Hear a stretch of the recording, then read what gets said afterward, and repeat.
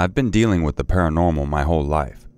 From shadow figures standing over me at night, or unexplained sounds, to things suddenly falling over, even though all the doors and windows are shut. It never really bothered me much, because it didn't affect me directly, so I thought that it was just part of life somehow. This experience took place when I was 14 or 15. It was Halloween, and my siblings and myself all shared a liking for things creepy and unexplained. My brother had bought a Ouija board a couple months prior and asked my sister and me to play with him on Halloween. We, of course, agreed. My brother made a circle out of candles and put the board in the middle. My sister and I sat on one side of the board, and my brother on the other. We started warming up the board before we asked questions. After warming up the board, my brother asked the first question. We all agreed that we'd take turns. He asked if anyone was there, and at first nothing happened. So my sister asked the next question what his or her name was. This time we got an answer yes. Having never done this before, I thought one of them was pushing the planchette. Both swore that they weren't pushing it. I asked the next question, and we again got an answer. The ghost said his name, but I can't recall what it was. I do, however, remember it was Russian. We continued to ask it questions, like where he lived and how old he was, if he had family, and things like that. Harmless things. And he answered all of them politely. After the sixth or seventh question, I started to feel really cold, like ice cold. I asked my brother if he had turned the radiator off, and he said no. I asked my sister if she was feeling cold, and she too said no. I brushed it off and concentrated on the game again. My brother then asked when he had died, and it turned out that he had died in 1994. I was really intrigued at this point so I asked how he had died. And this is where everything tipped. After I asked him this question, I immediately got a fuck you spelt out. Getting slightly uncomfortable, I apologized, and my sister asked a harmless question again, but she got a fuck off. My brother then asked if he was here in this room with us, and if so, where exactly. The ghost spelt out behind Victoria. At this, my skin started crawling, and I wanted to stop playing. My sister and brother both looked in shock. My brother's phone then started ringing. Of course, with the freaking Halloween soundtrack, so we all jumped. My brother turned over the planchette and went to answer it. I immediately got up and left the room to calm down, and we never spoke of this event again.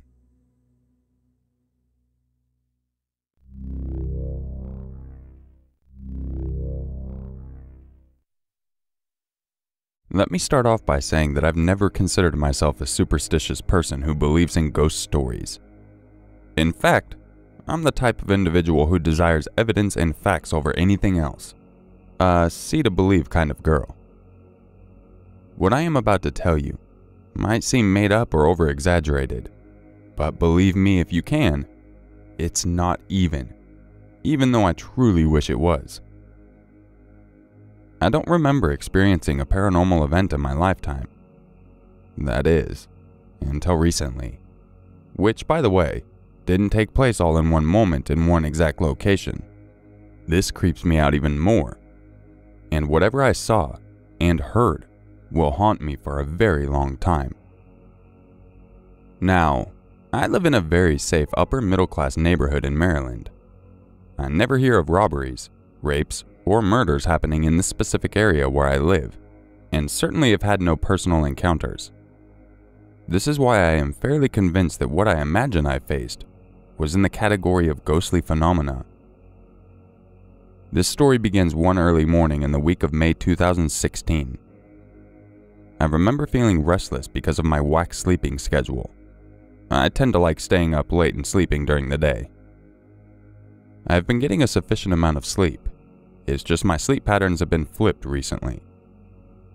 Living on my own in Lancaster while attending college, is partially to blame. But I am back home for the summer and trying to fix that issue.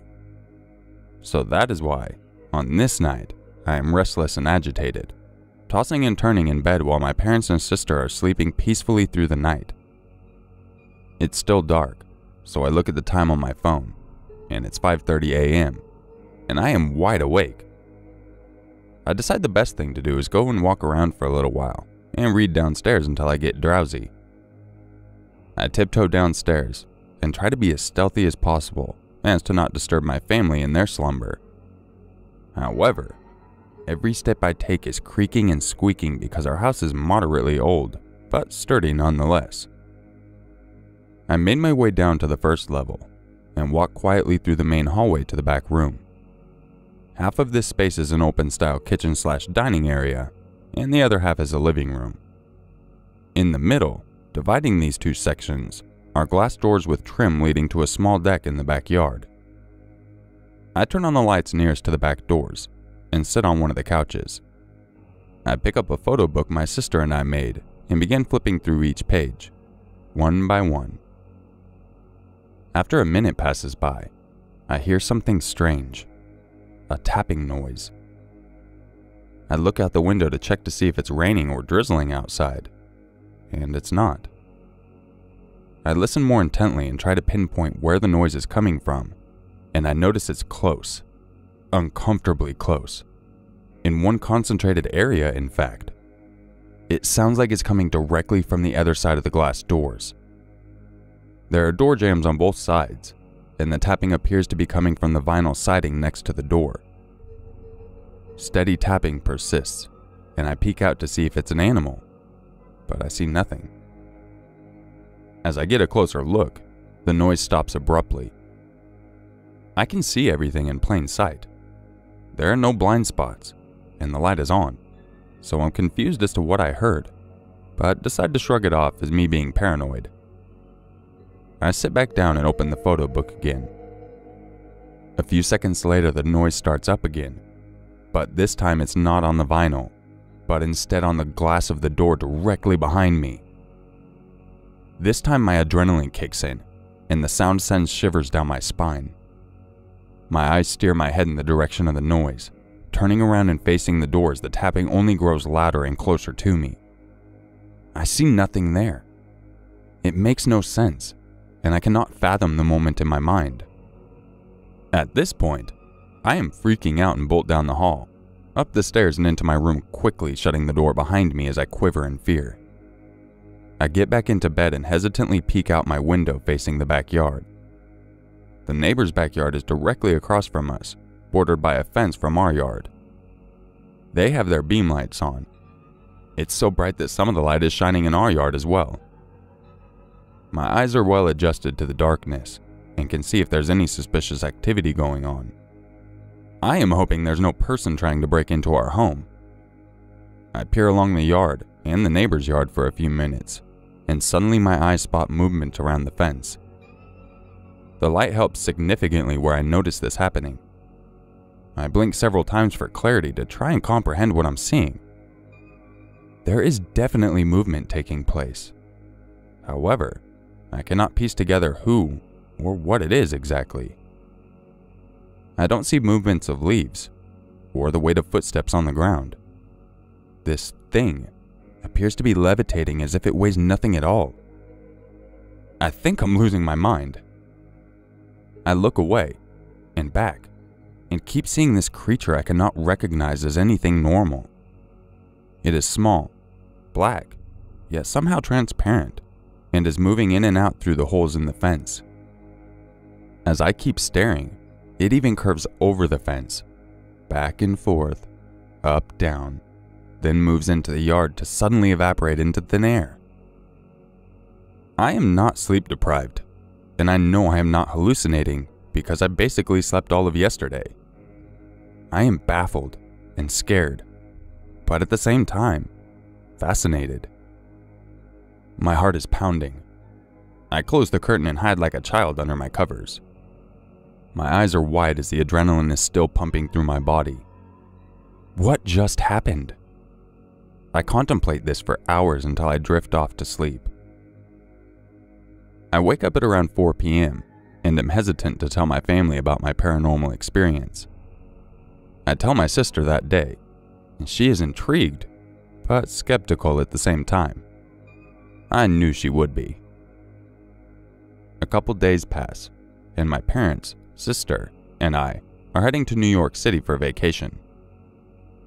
Since I told my sister of what happened, I thought I should also inform my mom and dad.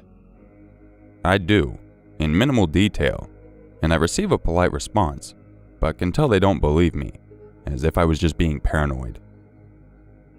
Around 10 p.m., we arrive in New Jersey and stay at a hotel for a night before commuting another hour the next morning into New York City. My sister and I share a room in a Comfort Suites hotel, and by this point, I try to convince myself that the bizarre ghost like encounter was a one time thing and that I should just let it go and move on. I take some NyQuil, turn off the lights, and get under the covers and try to fall asleep. After a couple minutes, I notice myself dozing off, but not for long. I have anxiety and panic attacks every now and again, the kind where you feel like you're falling off a cliff or that your life is escaping your body.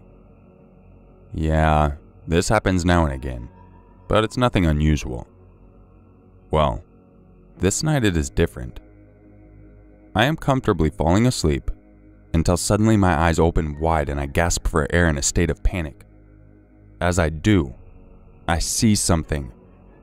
Towering over me, next to my bed, is a tall, dark, semi transparent figure, very similar to what I thought I saw in my backyard the other night. I flinch backwards in fear. I blink a couple times and all of a sudden it disappeared before my very eyes. Is this thing trying to torment me? Follow me? What is happening? Knowing that my sister is only feet away brings me comfort and a sense of security. I sigh heavily and eventually fall asleep. I attempt to suppress these events, which all took place within a week's time frame. Successfully, during my stay in New York, I distract myself and have a good time. My family and I drive back home the following week, and thoughts of the ghost creep back. Each night before I go to bed, I peek out my window to satisfy my curiosity, but have seen nothing since I arrived home. From now on, I hope I hear no cringe evoking noises or awaken to a towering ghost beside my bed trying to haunt me in my sleep. Things are back to normal. For now.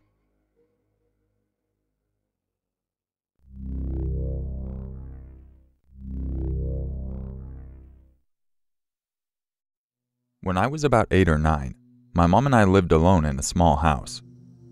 I was not a particularly paranoid kid, but I did require a nightlight in order to fall asleep. Usually, I would fall asleep with my bedroom door and my closet door open, with the light on in my closet as a nightlight. One morning, I woke up at about 4 a.m. for what I thought was no reason. I just lay there, waiting to fall asleep, when I heard what must have woken me up a whisper whispering my name. I sat up and looked around, and then heard it again. Thinking it was my mom calling me, I got up and went to her room and opened the door. Mom, did you call me? She'd clearly been sleeping soundly. No, sweetheart, I didn't call you. Go back to bed. But someone called my name. She gave me a few half assed explanations on what it could have been to get me back to bed, including a bird that can mimic humans or a religious experience.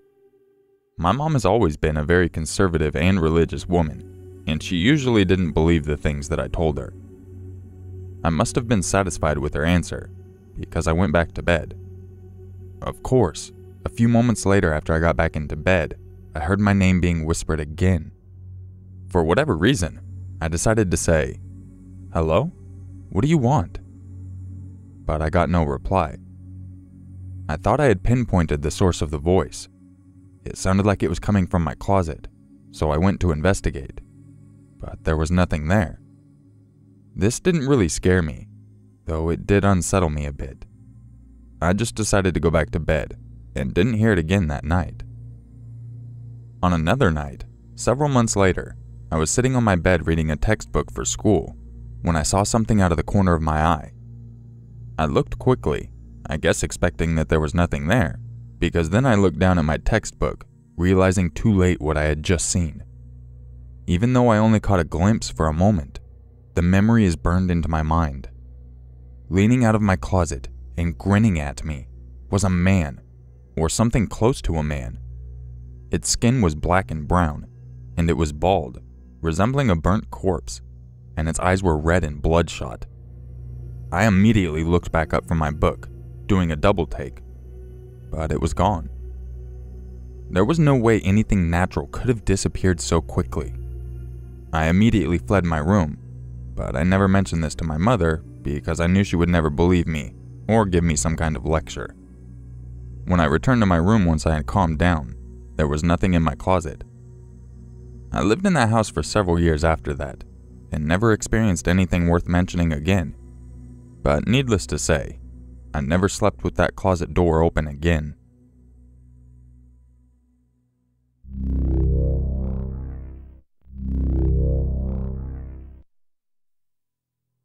This happened to me a while ago, over a course of a few years, from when I was in fifth grade all the way up to my freshman year. We moved into a two story house with a big pool and a big yard.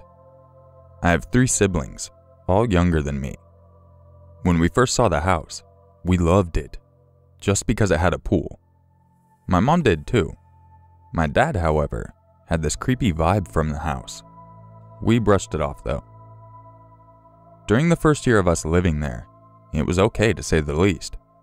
We always had this creepy feeling we were being watched, especially in the basement, where my room was, and in my sister's room on the top floor. Strange things occurred that year. My dog would just stare off into the part of the room or down the hallway and growl and bark at times. Items would be placed where they shouldn't have been, and so forth. Fast forward to winter of 6th grade.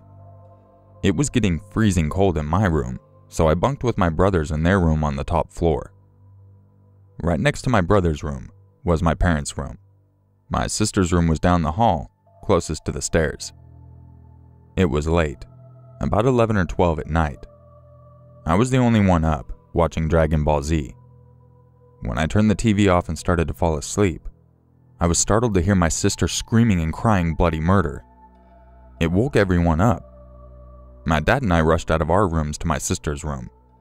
From how she was screaming, you would have thought someone was abducting her. We even expected to see someone talking to her. But when we got there, it was just my sister standing on her bed crying. Diagonal from her was her closet, which was open. When we asked her what was wrong, she told us that a little boy wearing a mask with blood red eyes was in her closet. She said he likes to hide in there, away from everyone else. This freaked me and the rest of my family out, but we thought it was just a bad dream. Until it happened two more times, and it was odd that she was seeing a boy. The only death we found that occurred in the house was an old man who passed from a heart attack. No children. My sister refused to sleep in her own room ever again, unless she had someone in there with her. Skip ahead to 7th grade. My great grandmother had suffered her second stroke. She wasn't going to make it, so my family brought her home so she would at least be comfortable for her last days. When she finally passed on April 28th, three weeks after my birthday, we buried her, and life was a little hard, but we carried on. A few months after her death, I was sitting down at the kitchen table. My dad was changing my little cousin's diaper. My sister, out of nowhere, got really excited and pointed and screaming at the kitchen sink, yelling, Micah home! Micah is home!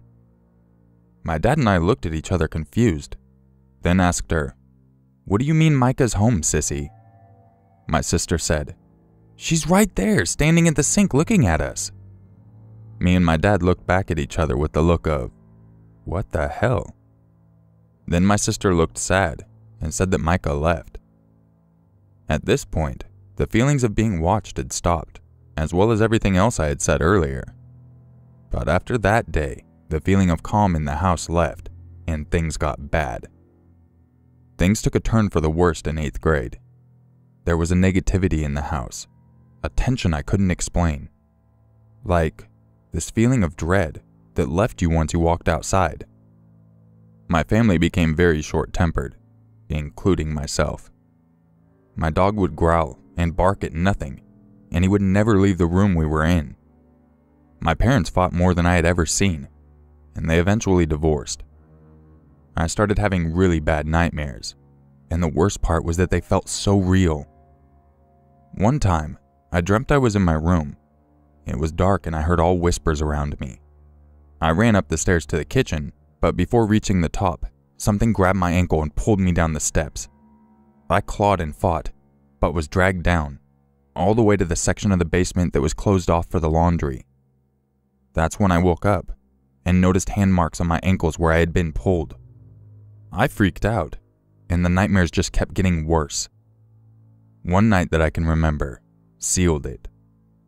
I had another nightmare about being locked in my room, and from my window I could see my parents and siblings leaving, and I was screaming for them to come back and help me, but they couldn't hear me. When I woke up, I saw a shadowy figure standing near the corner of my room. It was just there, looking at me. I darted from my bed and ran upstairs. Before I reached the top step, I felt a slap on the heel of my foot. I got to the top, slammed the door, and went to the back room where my dog slept, turned on the TV, and refused to sleep the rest of the night. My dog growled in the direction of the hall leading back to the kitchen for a good while, then eventually stopped. We moved out of there a month later, when my mom couldn't afford to keep the house and got a nice apartment. The feeling of anger and dread never hung over me again like a cloud like it had done for so long. Everyone got a lot better after moving out of that place. I am a senior this year, and to this day the house is vacant. The city it's in is extremely expensive, but my dad and I were shocked to see it online selling for a hundred thousand cheaper than it was worth. The house was just rotting away, despite all the work we'd put into it when we lived there. I talked to my brothers about it a week ago, just reflecting upon it. They told me they saw the same shadowy figure in their room as well. One of my brothers thought that he saw a shadow smile at him once. My sister doesn't really like to talk about the boy with the mask. She did, however, tell me he played hide and seek with an old man. She said he was nice and looked a lot like my grandpa who had died before my sister was even born. She said she played only one time, when she found him hiding under the bed. She told me that his demeanor wasn't scary, but she said that he claimed he was trying to scare her, but she wasn't scared. To this day, I'm glad I don't live there anymore, and I hope no one else lives there. Ever.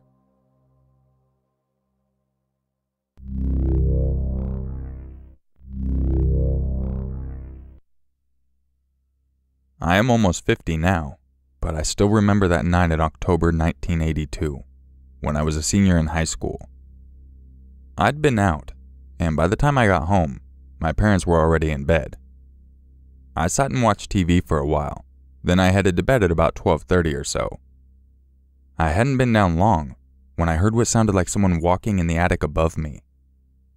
At first, I tried to tell myself that it was just a squirrel in between the ceiling and the attic floor. That had happened before. It didn't sound like squirrels, though. It sounded like a man in heavy boots walking from one end of the crossbar of our T shaped attic to the other, right above my room. Then it stopped. I don't know how long, but I do remember I'd started to drift off when the pacing started again. This time, it went from one end of the crossbar to the other, and then back to the top of the T stem. The attic stairs began there. The stem was over the hallway and my parents' bedroom. The steps went down the stem, back up, back across the crossbar, over my room, then back, stopping at the top of the attic stairs. I was scared, but I wasn't thinking ghost. I was thinking someone had broken into our house earlier in the evening and was either checking out what was good to steal or worse. When the boot steps started down the attic steps, I panicked. I sat up because the attic door is right next to my bedroom. Even though it's locked, it would have been nothing to boot open the door. I sat there, looking at the attic door, the footfalls stopping at the bottom step. It was silent for what seemed like forever, but was probably only 10 seconds or so.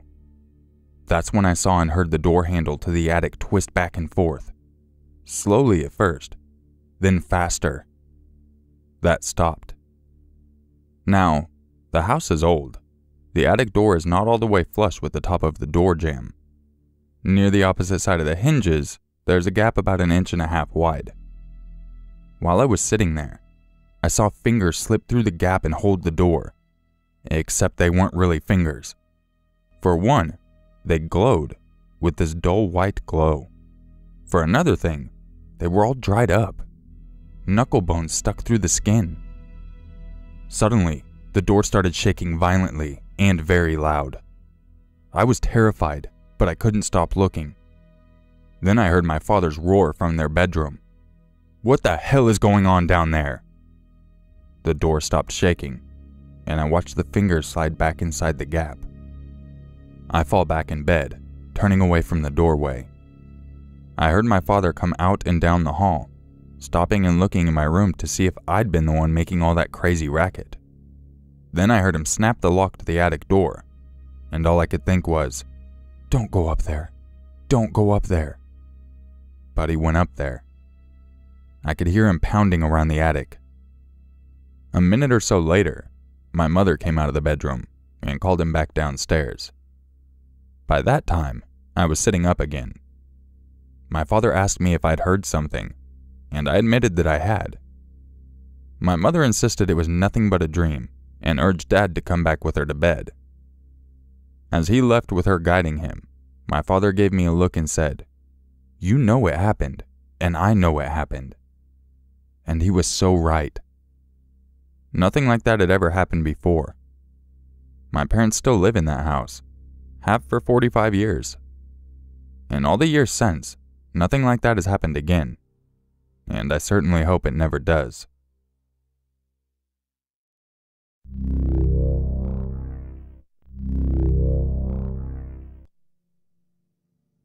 I had a job most young people probably would have avoided. Back when I was just recently out of high school, I got to know the aging owners of a small funeral home in western Colorado. A floral shop had periodically sent me to deliver flowers there. Having never seen a dead person, I was transfixed by the open casket on display in the viewing rooms. I think my reverence and curiosity led to the morticians offering me a summer job before I headed off to college. Being somewhat of a goth and a mystic, I thought it would be interesting. Little did I understand what an understatement that would be. To be completely fair to my employers, they gave me tasks completely outside of the process of embalming and presenting the deceased.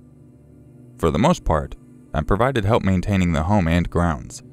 Really no more than an assistant or a janitor. I did assist with the loading and moving of the caskets, which was mostly mechanical but occasionally required a bit of elbow grease. Early on, I was afraid I'd be fired because I let a casket slip off the lift. An overweight senior popped out on the marble floor, and they had to take him back to the prep room to repair some scuffing to his face. I was mortified, but the owners told me that they doubted he felt a thing, and the next time we transported one, they told me, try not to drop this one. It was fascinating to observe the family members and friends that visited the viewing rooms, and occasionally it could be heart wrenching. I was amazed that people would bring children, even younger to me, to the home to pay their respects. One time, a young girl wandered back into the office while I was unloading some cleaning supplies. She was crying, no more than six or seven years old, and I thought maybe she'd wandered away from her family. I asked her if she was lost or needed a bathroom. She just cried, and I told her I would help her. She ran back towards the viewing rooms, and I followed her trying to make sure she found her people, but she went into a room where no bereaved was present. I went to find her, but she wasn't there. No one was there. The only thing that was in the room was a closed child's coffin, and the hair on my scalp just rose like I touched an electric wire. I could only surmise that my eyes had been deceiving me, so I peeked into the adjacent room, where mourners were present. But none of them were children. Worried that someone would think I was losing it, I didn't mention this to my employers, but it was only the first of many things that happened to me there. As a child, I saw and heard spirits that gathered in my room at night. In high school, I'd begun abusing alcohol and smoking pot, and it seemed like my openness to psychic phenomena had waned completely. I had only recently given up sleeping with my head under the covers, as pathetic as that sounds. But now it was all coming back. That night, I closed my eyes trying to sleep, but I could not get the image of that young girl's face out of my mind. Finally, I decided that I might as well get up and watch some TV. But when I flipped on the switch on my bed lamp, the light bulb blew out. And in the flash of the light that lasted no more than a fraction of a second, I saw the faces of at least a dozen spirits standing stationary around my bed. I was so afraid I couldn't move or even scream. Even so, I went back to my job the next day.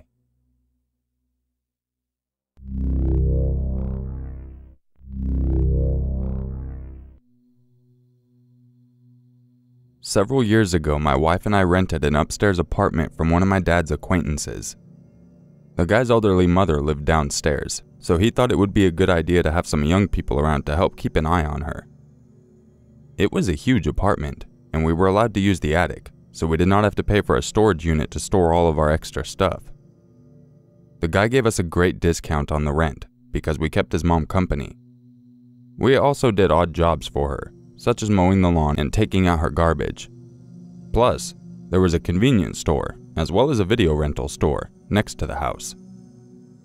We lived there several months before paranormal things started to happen. It began with footsteps in the hallway outside of our bedroom.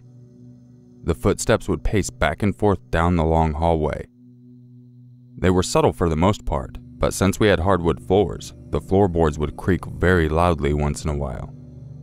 I would rush out of the bedroom, expecting a burglar or crazy homeless person, but no one was ever there. This happened every night without fail. Eventually, we would just lay there in bed frightened out of our minds as we listened to the ghostly footsteps. After several more months, the activity took a brand new behavior. The footsteps would now stop in front of the bedroom door for several moments before resuming their pacing. My ex wife claimed that the doorknob would occasionally squeak as if someone was trying to turn it. I never personally heard the squeaking doorknob, but there was no reason for her to make it up. Luckily, the door never did open to reveal a ghost, or an intruder for that matter. One night, I got up at around 3 a.m. to use the bathroom when I saw a pair of translucent legs. There was nothing above the waist. Walked past the bed and straight into the hall. It startled me, but I tried my best to dismiss it as a hypnotic hallucination. These are visual hallucinations that people can sometimes have when they first wake up from a deep sleep. On another night, we ended up catching several creepy voices on a digital recorder with a male voice up in the attic telling us to leave it alone. We decided to move out after two years. We were carrying out the last of our stuff, and the old lady downstairs asked if we were moving out because of the ghost. We were silent, not knowing how to respond. Then she told us that her son had gone up there to perform some sort of makeshift exorcism before we first moved in. He had gone through all of the rooms with holy water while reading Bible verses. Obviously, it did not work, but I thought it was cool because it helped validate our paranormal experiences. Months after moving out, and through a bit of digging at the public library, we found out that there had once been a cemetery next to the house. In the 1850s, the townsfolk realized the cemetery had reached maximum capacity, so the graves were relocated to a more suitable site that could be expanded. Unfortunately, it was rumored that a few of the graves were left behind. More than a century later, the convenience store and video rental store were located directly on top of where the cemetery had once been. It was all reminiscent of the Poltergeist movie, with the buildings being placed on top of the graves that had been disrupted.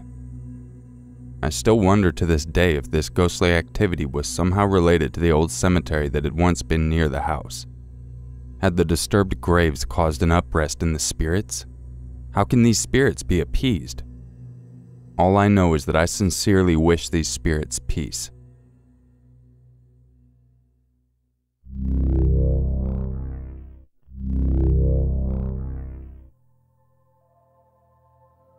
I am a 15 year old female sophomore living in West Virginia, USA. I've always been close to my family and friends. Maybe that's why I have this odd sixth sense sort of thing.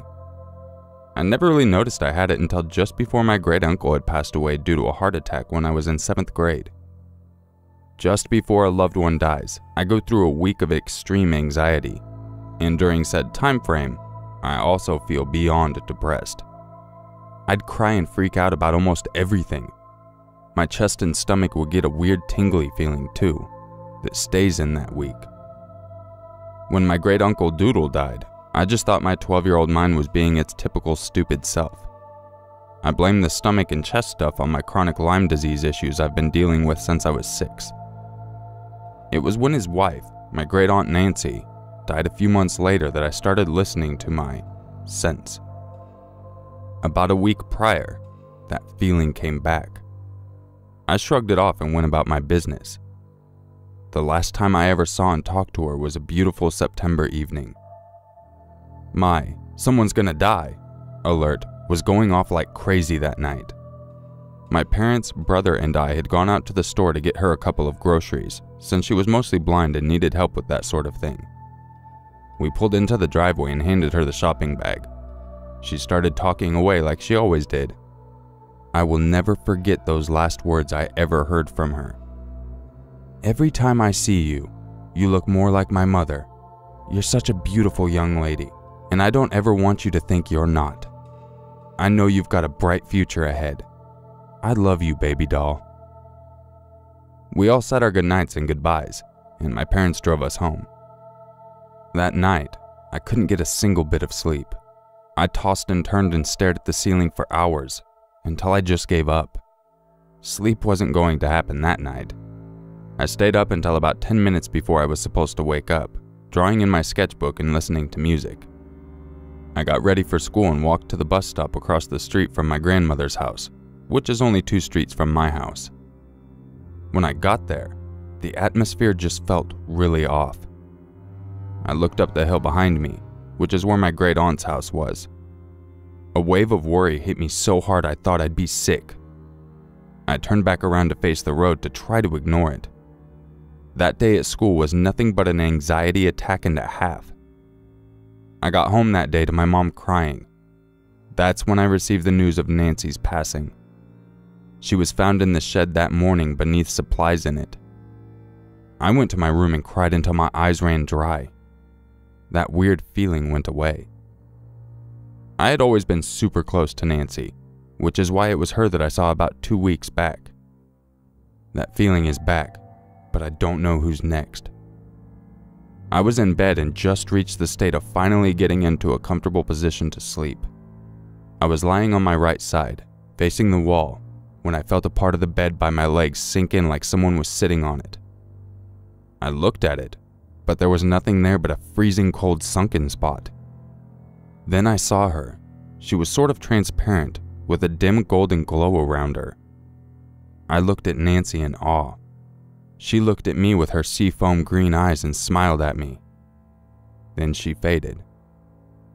I began to cry until I eventually cried myself to sleep. I told my parents, but they thought I was either nuts or dreaming. That was expected, honestly. I then went to my grandmother's for breakfast before school and told her. She froze and asked, You get those feelings too? I told her that I did. She sighed and told me that a couple hours before a death, she smells roses. She smelt them very strongly the morning they found Nancy and the evening they found Doodle. I don't know what exactly it is, but it's kind of creepy. I want to know more about this, but I don't want to look like someone who's got a few screws loose upstairs. Since that feeling is back currently, I've been keeping a close watch on everyone I love. I don't know who death's next victim will be. I'm not sure I want to know.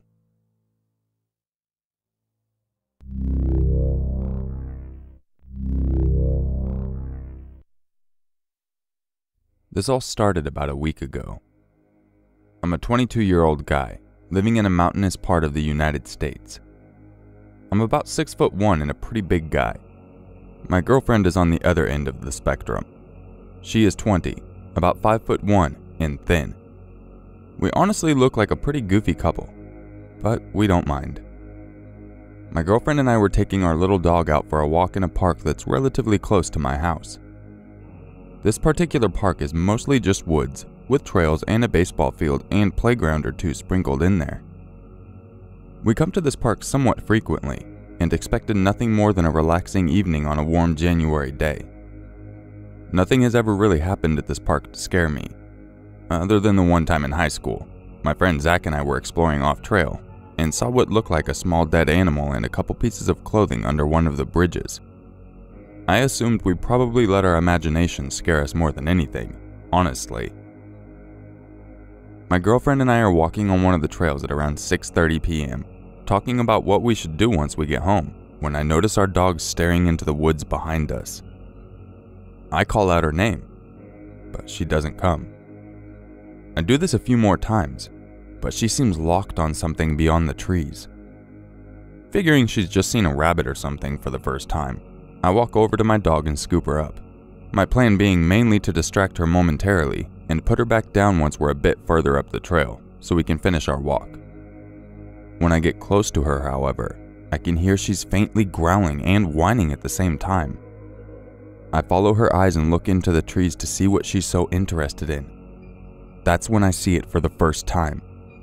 It was about 30 or 40 yards away, but I could make out a man shaped silhouette, just standing there facing us. I stood there for a minute and struggled to make out features. Any features, because it wasn't dark enough yet for me to just see the silhouette of someone. I could make out details on the trees behind it better than I could make out the human shaped thing itself. For a moment, I wasn't sure if it was even a real person because of how long it stood completely still until it moved its arms in a motion that wanted me to come closer to it. It was slow and non threatening in the way it moved, and something inside me actually wanted to go towards it. It felt almost hypnotic. My girlfriend asked what was over there, which kinda snapped me out of the trance like state I was in, and I quickly grabbed my dog and fast walked out of view of the thing standing in the woods. I glanced over at where it was standing, and it still remained unmoving but I swear its head followed me. I told my girlfriend it was just some guy that kinda gave me the creeps, and that we should really get back to the car now. She asked what he did, and I just said he didn't really do anything, but that I had this sickening feeling in my gut that just wanted us to get away from here. I knew that the trail we were on looped back to the big parking lot, and we were halfway through it. I decided it'd be quicker to finish the trail than turn back and go the way we came, so we pushed on. My girlfriend seemed to not nearly be as worried as I was. Not that I blame her, I guess. And started talking about how she's excited to get home and smoke a blunt with me while we catch up on some shows on Netflix. The whole time, I'm glancing over my shoulder every 30 seconds, carrying my dog, who also seemed on edge still.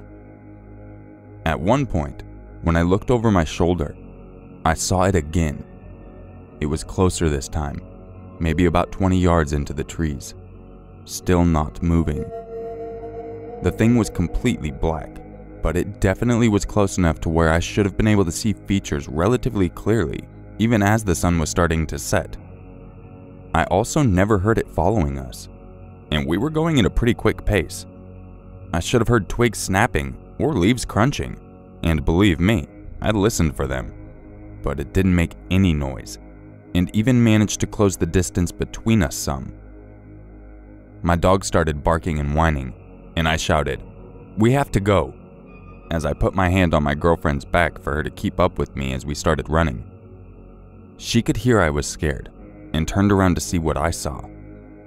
She turned back around, eyes wide and face pale, and quickly passed me. It's coming!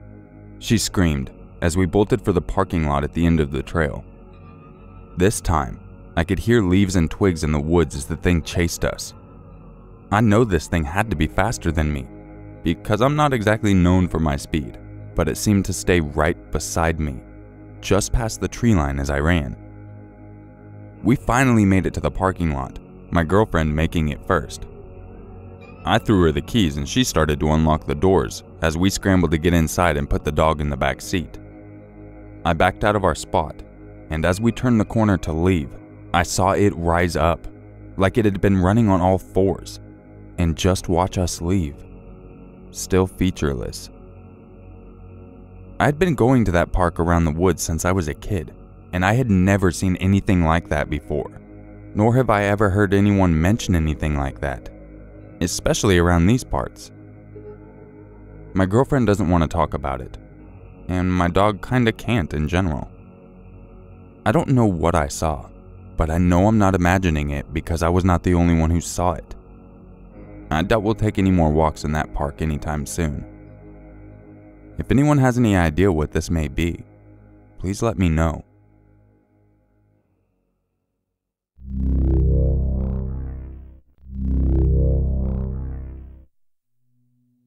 I've had quite a few interactions with paranormal things in the past, but they were all deceased relatives of mine, grandparents and such that had passed on.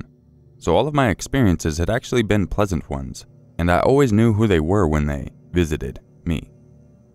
But this encounter, I still cannot explain. I have no idea who or what this thing was, and that creeped the hell out of me.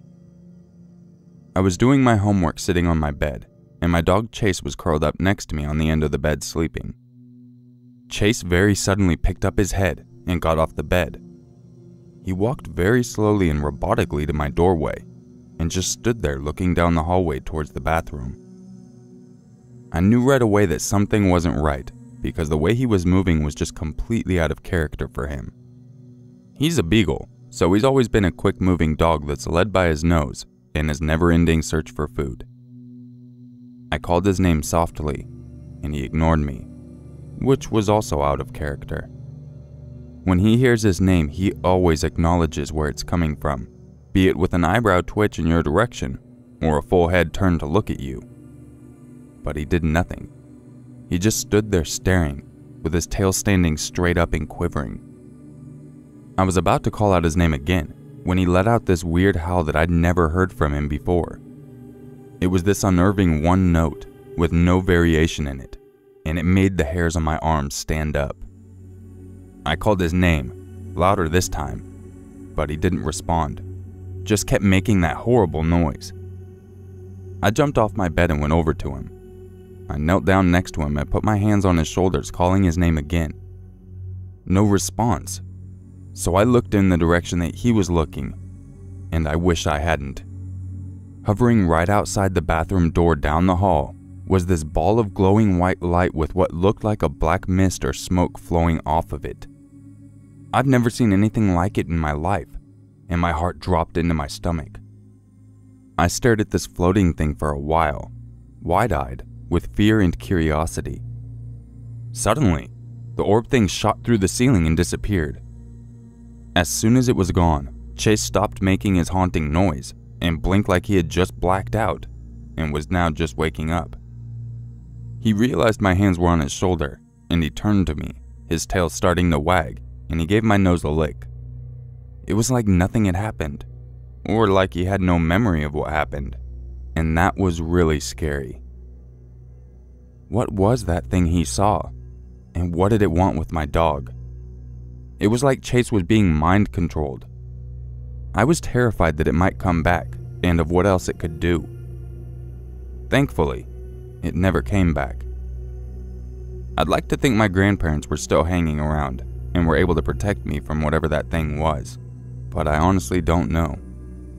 All I know is that I'm hoping to never see that thing again.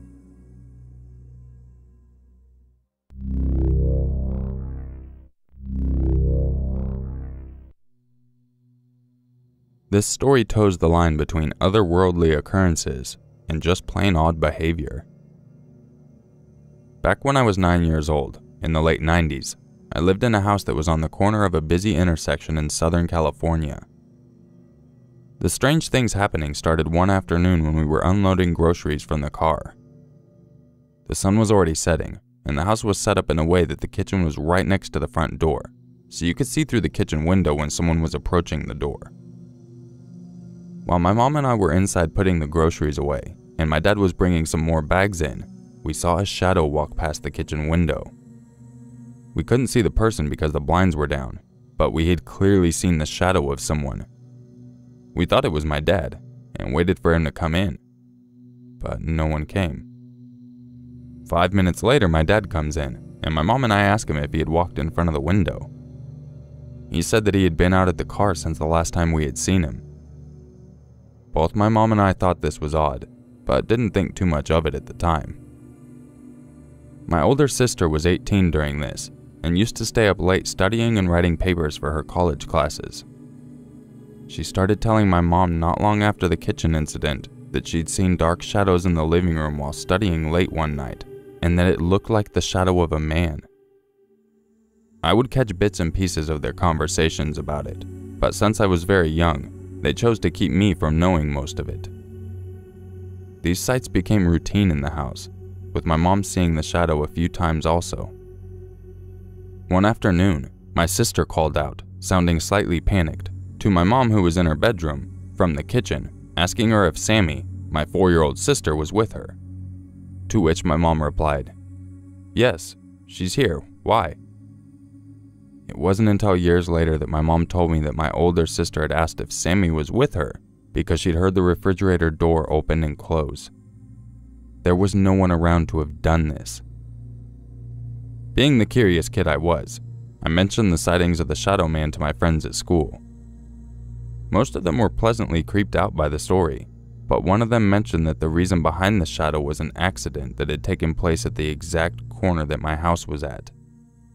My friend's theory was that one of the people who had died was haunting the house. Now that I'm older, I got curious one night and decided to Google any accidents that occurred in that intersection. I found a major accident that happened there just a few years before my family moved in. Four people died and several others were injured. About two months before we moved out of the place, my mom was sitting in her room one night with the window open, since it was really warm even for that hour. She looks out the window and sees a man standing in the shadows, staring right at her. My mom, being the fearless five foot nothing lady that she is, asked the man in her usual commanding voice, What are you doing here? I can see you. I'm calling the police.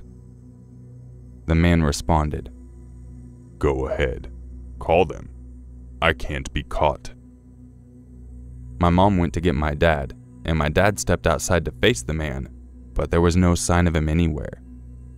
He just vanished. And my dad had stepped out within a minute of this happening, and there was nowhere for him to have hidden. The shadow man made appearances until we moved out. I wasn't afraid of him, but I'm glad my family moved away from there.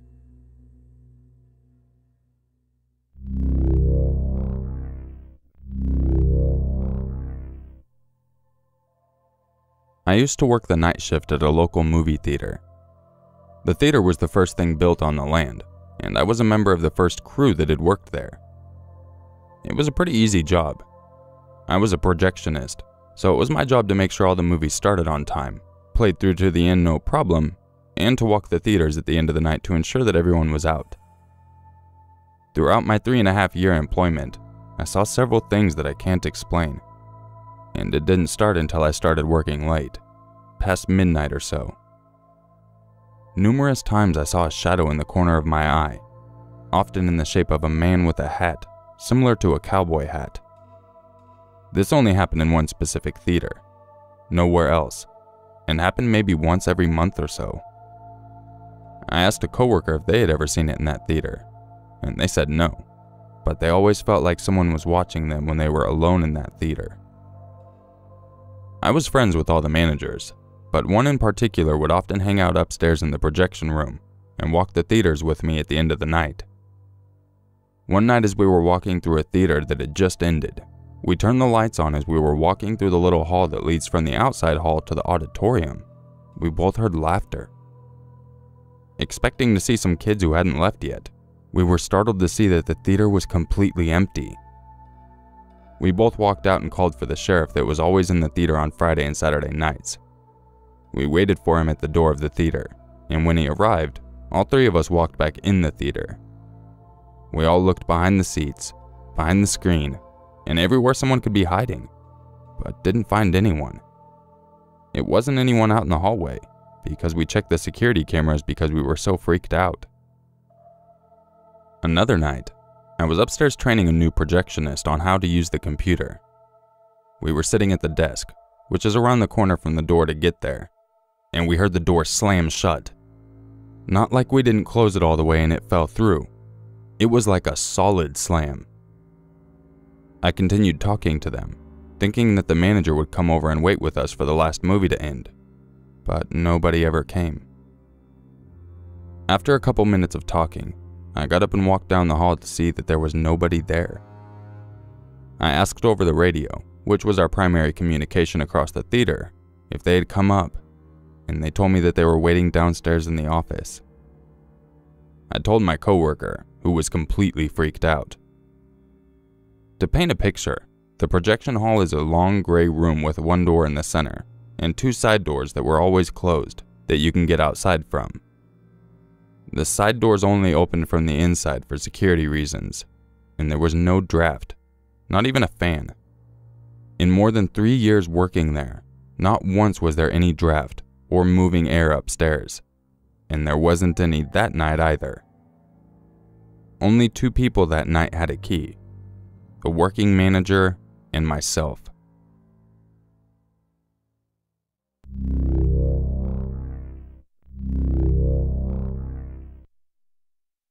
When I was 17, a group of friends and I decided we wanted to go check out the legendary Goatman Bridge on Governor's Bridge Road in Bowie, Maryland.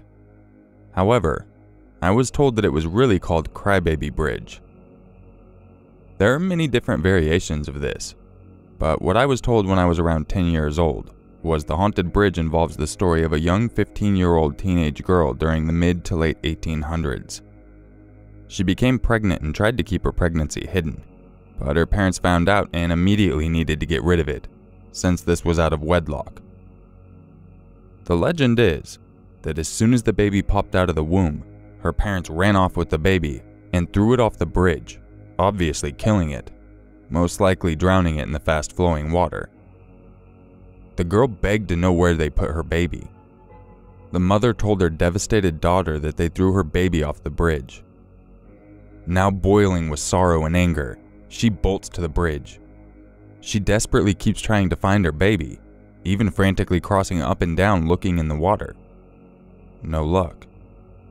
Overcome with sadness, she jumps off the bridge to her death. Crybaby Bridge is forever haunted by the girl frantically looking for her baby she hears the baby crying, but she never finds it. Now, this is where the fun happens. The urban legend rules were to first cut off the car lights, get out, stand in front of the bridge, and shout, I have your baby. What's supposed to happen is first you'll hear the faint sound of a baby crying. Then your car lights and engine will suddenly turn on, and the doors will lock. As soon as you head back for the wheel, she will appear first softly speaking and crying, and gradually screaming, Where is my baby? Nothing happened. Although I did feel a bit strange, I figured it was in my head. However, I did one thing a bit different than the routine, which I've now learned to never do again. Being the asshole I was, I said, I have your baby, you stupid bitch. Come and get it. Yes, disrespectful, but I thought it might achieve more attention from the ghost. Now, this is where it gets creepy. When I get home, I go downstairs to do more research on the bridge. I've only been home a couple of minutes when I hear a loud crash upstairs. Thinking it's my grandpa, who would occasionally drop something off his bed or even fall, I rush upstairs to his aid. I run down the hallway and reach my grandpa's room. He was sound asleep. Then I realized that while I was running down the hall, something wasn't right. As I'm walking back, I see three framed pictures off both walls were shattered. Every single picture was of me as a baby, not even being one year old. I put two and two together and thought this ghost had followed me home, and I really pissed her off. I thought this had to be a coincidence, but it was too random. Those pictures have no reason to fall off the wall like that. I pick one broken picture up and notice my dog acting strange. She was staring at the front door, and she wouldn't budge.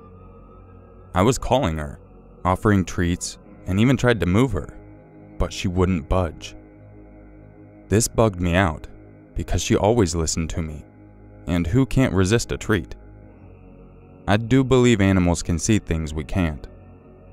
I was starting to get really nervous, but kept my composure and remembered my dad telling me a story about a ghost. This was the quick story I mentioned earlier. When he was 18, he bought his first apartment. It was extremely cheap. Too cheap, because the last two tenants claimed it was haunted and wanted out. Apparently, a woman was stabbed to death in the apartment eight months earlier, and now she was haunting the apartment. My old man couldn't give a shit. It was cheap, and he didn't believe in that stuff. This changed. He said that every night around 12:45 a.m., he would hear what sounded like footsteps starting from his hallway and ending at his bed. He's a mechanical dude, so he thought it had to be a timed machine within the walls.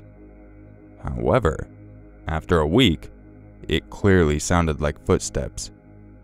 So one night, when he heard the last step at the foot of his bed, he announced, Look, I'm sorry, but I live here now. I don't mind that you're here either. But please stop making noise. It's scaring me. And just like that, it stopped. So I decided to do the same thing. While holding the broken frame, I apologized out loud. I'm sorry for saying those mean things. I don't have your baby. I won't do it ever again. My dog then clawed the door. I opened it and closed it. I didn't have a sense of presence anymore. I felt like I had dodged a bullet. After that experience, I did research and found out that if ghosts are angry enough, they can attach themselves to you. Then again, this all could have been coincidence. But what I learned is to not disrespect the paranormal.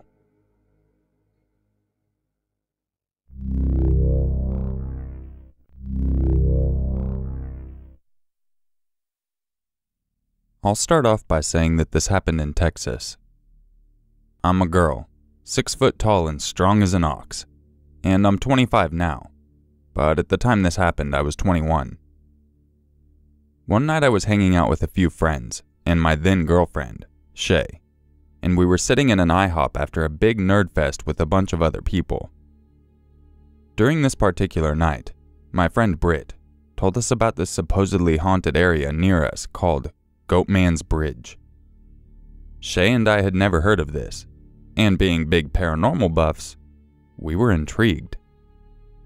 Britt told us that supposedly some years back, an African American man had lived out past the bridge and had done fairly well for himself and gained the name the Goat Man. This was a long time ago, though, and the Klansmen became angry when he started displaying a sign that read simply, This way to the Goat Man's. They took him one night and hung him over the bridge, but when they looked down to where he should have been, the noose was empty. Panicked, they ran back to his home and slaughtered his family.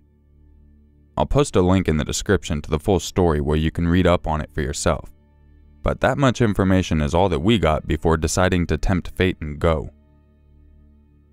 We arrived there about an hour later, and it was pitch black outside. You used to be able to drive across the bridge, but it's been closed down for some time, so we crossed the barricade and walked over to the bridge. It was me, Shay, Britt, and my good friend Michael, and another girl that I didn't really know too well, but we'll call her Misty. Michael, Shay, and I have always been very in touch with all things paranormal. We've always been able to sense things. So we decided before crossing the bridge to have a look around he and I would be in front, shielding our friends, should something bad go down. I wanted Shay behind me, because I wouldn't have her getting hurt. We got in formation and began to walk. Shay stayed right behind me, tightly clutching my shirt in her hand to make sure that she didn't get too far away from me, and Britt and Misty brought up the rear. I kept murmuring things to Michael, keeping my eyes on the woods around us, asking him if he felt how heavy the air seemed. He told me yes, but we kept going, slowly. we decided quietly that if it got much worse, we would go back. A bit further up, Shay suddenly gasped hard and pressed up against me. I asked her what was wrong, and we stopped walking while I made sure that she was okay. She told me she'd heard a loud growl, and when she turned to look, she saw something that she thought might be an animal, but it was wrong. It was wrong, she said. I asked if she wanted to go back, but she shook her head and took my shirt again, and we continued. Maybe five minutes passed, and the air was so thick that it was almost hard to breathe. Michael took my hand, and we looked around, and I swear to you, I saw figures in the dark. As dark as it was out in those woods, these were somehow darker, and there were many. We weren't alone out there. I shared a glance with Michael, and at the same time, we both whispered, We need to go. Now. We turned to our friends and told them that this was as far as we'd go, and we needed to get back to the car immediately. They didn't argue, and we stayed at the rear of the party, hoping to keep those shadows away from our friends. When we got back to the bridge, we stood there for a moment to catch our breath, and it sounded almost like there was something in the water below us, sloshing around noisily. I tried to ignore it, deciding it must be an animal, and not to mention I suddenly had a headache from hell. Shay curled up to me and asked if I was okay, and I just told her that I wanted to go home. All I wanted to do was get away from that bridge. As we walked back to the car, I asked Britt to unlock it, and she obliged. The thing with Britt's car is that when she unlocks it, the light inside comes on, and then slowly turns off after you get in. I placed my hand on the handle right after I heard it click unlock, and it clicked again as I pulled it, and the light shut off immediately. I blinked, looking up at her. I asked, Did you lock it? And her eyes were wide as she said, No, and that light isn't supposed to do that. That was the last straw. She unlocked the door again and we got in and hightailed it home. If I weren't a moron, that would have been the end of the story. But unfortunately, I'm a moron. Maybe six months later, I, Shay, Britt, Michael, and one of our other friends, who I'll just call Jay, were sitting at a Taco Bell having a late dinner. We mentioned something about the bridge, and Jay asked what all the talk was about. We told her all that had happened, and said that it wasn't an experiment that we wanted to repeat. She's a skeptic, and she wanted to go see what we were all so spooked about. When I told her no, she threw a tantrum, said she wanted to go and she wouldn't have it any other way. I liked this Taco Bell, and I liked the people in it. And when they started staring because my friend was throwing a fit, I told her irritably to shut the hell up and we'd go, as long as we could go and get batteries for the flashlight that was in Britt's car. Britt agreed, and I could tell Shay and Michael weren't happy to be doing this again, but they shared my irritation with Jay and understood why I agreed. Fast forward a bit, and we were out at the bridge again, this time armed with a flashlight and a skeptical friend that loved to irritate me. We got to the middle of the bridge, and Shay said that she didn't want to go. Understandable. So I squeezed her hand and kissed her, and told her to stay here and that we'd be back. Britt offered to stay with her, and so Michael and I told Jay that we were going to be in front and that she was going to stay behind us at all times. I asked her to please just listen to what we said and not argue, and informed her that spirits and things like that fed off of negativity, and arguing would only create negativity. She agreed to stay behind us, and we started to walk into the woods once again. I held the flashlight tight in one hand, and I had literally just replaced the batteries five minutes ago, so I figured we would be okay with this little bit of light it offered. As soon as we stepped into the trees, though, that same heaviness from the first trip was immediate, and the light died almost instantly. I hit it against my hand a few times, thinking, no way, this can't actually have just happened and when I couldn't get it to work again, I pocketed the damn thing and looked to Michael. We shouldn't go any further. And he agreed. But Jay, oh Jay, she wanted to go further. She saw nothing wrong with the flashlight dying and just thought it was a coincidence. I shouldn't have let her change my mind, but I did. We walked just a bit further into the darkness, and then Michael stopped and grabbed my hand. No, we have to go back. We can't be here anymore. And I knew he was right. I turned to Jay and told her to turn around and march her little butt back to Britt and Shay. She argued, and it took me using a voice that I can only deem as a mom voice to make her shut up and go back.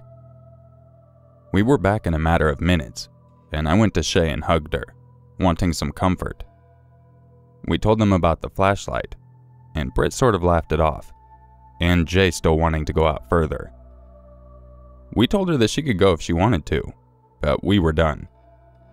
Needless to say, she didn't go. Michael hopped up on the railing of the bridge and stood there looking out at the sky, and after a moment, I stood up there with him. We were silent for a minute before he suddenly lurched forward, making an uh, noise when he hit the side of the bridge. I grabbed his shirt and pulled him back and asked him what the hell he was doing.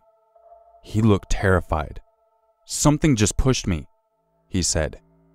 And I frowned and turned to Britt, saying, Let's go. Shay suddenly called my name, and I turned to her, sensing her distress. She looked up at me and asked me to look at her back because she felt like she'd been bitten by a bug or something. When I took a look, I saw three long red welts on her back, and when I touched them, she flinched. I asked her if she had scratched herself, and her eyes got wide as she said no. That was enough.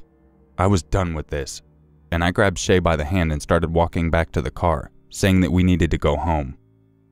They didn't argue and followed suit. The car didn't do anything weird this time, and we piled in and headed home. We didn't even get a mile away before there was a loud bang, and Britt's car started swerving. There were shrieks, and Britt managed to pull off to the side of the road and park, as I asked if everyone was okay. They were all fine, so we exited the car to find out what the hell had happened. One of Britt's back tires had blown, but we hadn't hit a hole, and none of us knew how to change a tire. We started looking around for what could have caused this, like if we'd run over something. There was nothing, just a field to the right and left of us, and absolutely nothing on the road. While trying to figure out what to do, Michael said that his roommate knew how to change a tire, and he could call him to come and get us out. So he did, and we sat and waited. He got off the phone and told us that it would be a little while, but his roommate was coming and that we would be okay. We all attempted to relax, but how could we? It was dark, and we had just nearly wrecked after being at a creepy place like Goatman's Bridge. Tensions were a little high. About 20 minutes had passed of me texting a friend what we had just done and telling her that we were idiots and that we should have known better than to go back out there again. It was out of love. I know, and I laughed and told her she was right. About this time, I glanced over and noticed Michael had started walking. Not towards us, but back towards the bridge. I ran after him and asked him what he was up to. He said nothing was wrong but he just wanted to walk. I frowned and said nothing, but told him after a minute I would go with him. He didn't agree or disagree, so I took that as an okay. We got to a curve in the road, and I heard Shay screaming at us to stop. I stopped, grabbed his wrist, and made him stop, and turned back to look at her as a car pulled around the corner going very fast and passed by us. If we had gone much further, he may not have seen us and we could have been hit. I shook his wrist and said that we should go back to the car, and he almost sleepily said okay as we walked back. Shay told me not to leave again and hugged me tight, and I felt bad for scaring her and told her that I was sorry. Michael stood out in the ditch now, just staring at something I couldn't see out in the distance. Walking over to him, I asked him what was up and if he was okay and he looked at me, and I realized he was crying. Worried, I took him into my arms and asked him what was wrong, and he gripped my back tightly and shook, his tears wetting my shoulder. I'm terrified of drowning. Something wanted to push me into that water. Something wanted me to drown. He paused and shivered. I just rubbed his back, listening, petting his hair occasionally, and he spoke again. I could hear voices. They told me my friends wouldn't care. They said, they said. His voice broke, and I shushed him softly, still petting his hair while he cried. I told him that the voices were full of shit. I told him we all loved him and that he was alright, and that everything was going to be okay. After a few minutes of this, he pulled away from me and rubbed his face, and tried to laugh it off, saying he was fine and thanking me. But I could tell he wasn't. He just wanted to be tough, so I let him be, and he went and sat in the car. After another 30 minutes or so, his roommate finally showed up and it was an almost tangible collection sigh of relief from all of us. We really just wanted to go home, because it had gotten super late, and we were all exhausted, mentally and physically. His roommate pulled the tire off after a bit, and laid it on the ground so we could all finally see what had happened. There was a fist sized hole on the inside of the tire. It looked like someone, or something, had reached into the rubber and pulled out a huge chunk. There were even finger shaped marks like when a fist is shaped. This creeped us all out, even Jay, who, despite everything, was still skeptical. She couldn't find an explanation as to why this happened, or why it so closely resembled a hand. When the tire was replaced, we finally got back on the road and headed home. And luckily, no other car trouble happened. However, on the way while we were all nervously laughing and making jokes, saying we hoped nothing else would happen, I heard Michael speak. His voice was almost too quiet and sounded like a small girl's voice. I almost didn't hear him because I was in the front seat and he was in the back, but he very softly said, Skin feels weird, doesn't it? And then he laughed quietly, childlike, and my hair stood up on end. Whoever was sitting next to my girlfriend and my friend was not Michael. And I clenched my fist silently, vowing silently that if whatever it was did anything sideways, I would knock it right back to where the hell it came from. When we pulled up and parked by mine and Shay's apartment, I got out of the car fast and turned to the back door, opening it and hauling Michael out by his shirt. He glared at me, and boy, if looks could kill. Let go of me, he said, his deep voice again but his eyes didn't know me. He looked like a stranger, and I shook him, quietly saying, Michael, it's me. Let go of me, he said again, this time angrier, and I pulled him into a hug, repeating over and over, It's me, you're okay, come back. He pushed against my chest for a moment, almost like he was trying to get away, before he paused, and I could hear him say my name. I looked at him, and he stared at me, confused. He was himself again. I could tell. I asked if he was okay and if he knew what had just happened, and he told me no and asked me what was wrong. I told him what he had said in the car, and his expression sunk. He took a moment to process my words before telling me he wanted to sit down for a little while, asking if he could come upstairs with Shay and I. I told him yes, and Britt and Jay went home as we went upstairs. We sat with him for a good bit, making sure he was okay. He was laughing by the end of everything, saying, Great, now I'm the freak that thinks skin feels weird, and joking about it all.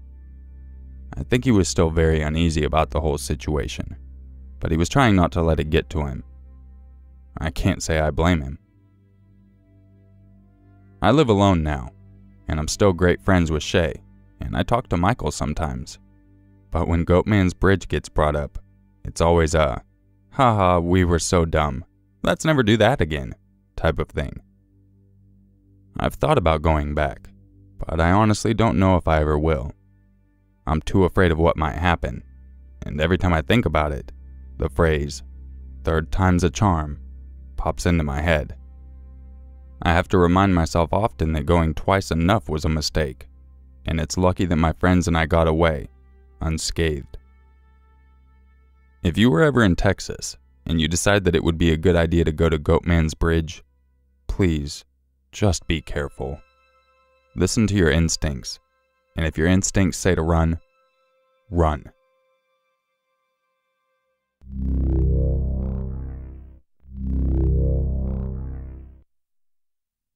I'm odd when it comes to paranormal things in life. I topple between believing in it and not believing in it. I guess it's more like I don't want to believe in it. For as long as I can remember, I've always been afraid of mirrors and dark windows. Nothing ever happened, but for some reason I just never liked to go near them, so I always tended to avoid them. The house I used to live in with my parents was claimed to be haunted. They still live there, but I have since moved out. It was an old hospital back in the 1800s. It's not very big hospital standard wise, but for a house it was rather large. My bedroom was on the third floor of the house. It was like a small apartment. I had my main bedroom, a living room, bathroom, and a room that we called the glass ceiling room because the ceiling was made of glass. When we first moved into that house, I claimed a much smaller room on the second floor and I was always afraid to go up on the third floor, especially alone. What drove me to want to move up there, I still don't know, but it wasn't so bad after I moved all my things up. The first few nights I slept on the third floor, things were okay, nothing unusual, but after maybe a week or so, I started noticing odd occurrences. The door to my bedroom was loose, and every night around the same time, which was roughly between 1 and 2 a.m., my door would slowly creak open. Not a lot, but just enough to make that eerie sound before it would slam back shut. This woke me up constantly. I thought at first it was just the air conditioner, as the vents were on the ceiling rather than the floor. But this occurred even when there was no air. Still, I assumed it was just because the house was old. The glass ceiling room was always kept shut. I didn't like it. My friends didn't like it. During the day, it was a gorgeous room, with sunny walls and bright light illuminating the area. But at night, it seemed to take an all new demeanor. Several of my friends would make comments about seeing shadows in that room, or hearing whispers. I would tell them that the shadows were caused by streetlights outside, and the whispers were probably just my neighbors, as their house was extremely close to mine. I always seemed to have an explanation that I thought was logical, However, I still have no explanation as to how this event happened. I had a friend over one night. Her name was Logan. The two of us would always like to goof around with scary things, telling each other stories and reading others online. We decided to play hide and seek in the dark room with my younger brother. When it came time for me to be it, I went into my brother's room to start counting. I found my brother fairly quickly, but Logan was hopping from place to place, making it harder to find her. I was just about to give up and admit defeat when I hear the most intense scream I had ever heard from her before. It was coming from the third floor. I rushed towards the stairs, but she was already racing down them, so fast that she slammed into me. Through her sobbing and hyperventilating, I got her to tell me what had happened. Apparently, Logan decided to go upstairs and hide in the glass ceiling room as her final hiding spot. While she was standing behind the door listening for me, she claimed she heard someone whispering her name behind her. When she turned around, obviously no one was there. What happened next still chills me. She said that as she turned back to the door, she felt someone grab a handful of her hair and yank it so hard her head was jerked back. Logan was never one to lie, and she definitely wasn't a good actor, so I knew that something must have happened to her to get her this worked up. We ended up sleeping downstairs in the living room that night, and Logan never came back to my house after that. Fast forward a few years, and I'm sitting on the couch in my living room upstairs. I was watching a movie when all of a sudden I felt compelled to look towards the window just across from my couch. It had a little window seat that my grandmother made a small cushion for, so I could sit there and read. I had a really odd feeling, like someone was sitting in the window nook staring at me. I decided to go downstairs and walk the dogs with my dad. I had almost forgotten about the creepy feelings until we returned home. As soon as we walked up the driveway, I shot a glance up at the third story window where my reading nook was. And there, staring back down at me, was the pale face of what looked like an elderly lady. My blood ran cold. I wanted to ask my dad if he saw her too, but I was too scared to say anything. And I knew he was not a believer in the paranormal. At all. I ended up sleeping downstairs once more. Not long after that event, I was home alone with my three dogs. We were all laying in the living room, me on the floor watching TV. My eldest dog, Chip, who also happened to be the sweetest dog in the world, suddenly leapt up from the chair and began to bark and growl at the ceiling above him. Some background on Chip. He has since passed away since this incident. He was suffering from stomach cancer, which is why I was surprised when he found the energy to jump around barking and growling. He also never barked and growled, so this also startled me. Chip was a good sized dog, and in his prime he was a tank. He was part Doberman mixed with Golden Retriever, with the sweetest temperament ever. The hairs on the back of his neck were raised, and he was snarling so viciously I was slightly afraid to go near him. His actions caused my other two dogs, a husky and a chug, to join in. They eventually moved from the chair to the front of the stairs that led up to the second floor. Chip climbed halfway up the stairs with ease, which again was odd since he was so old and ill. He stopped, and his eyes locked at the top of the stairs as he continued to snarl and bark. I followed him, and that was the first time I actually saw a shadow like figure flee from sight. I called my parents and told them what was happening. They were more concerned about Chip, as they didn't want him overworking himself. But as I knew they would, they told me it was nothing. I began to have vivid night terrors after that.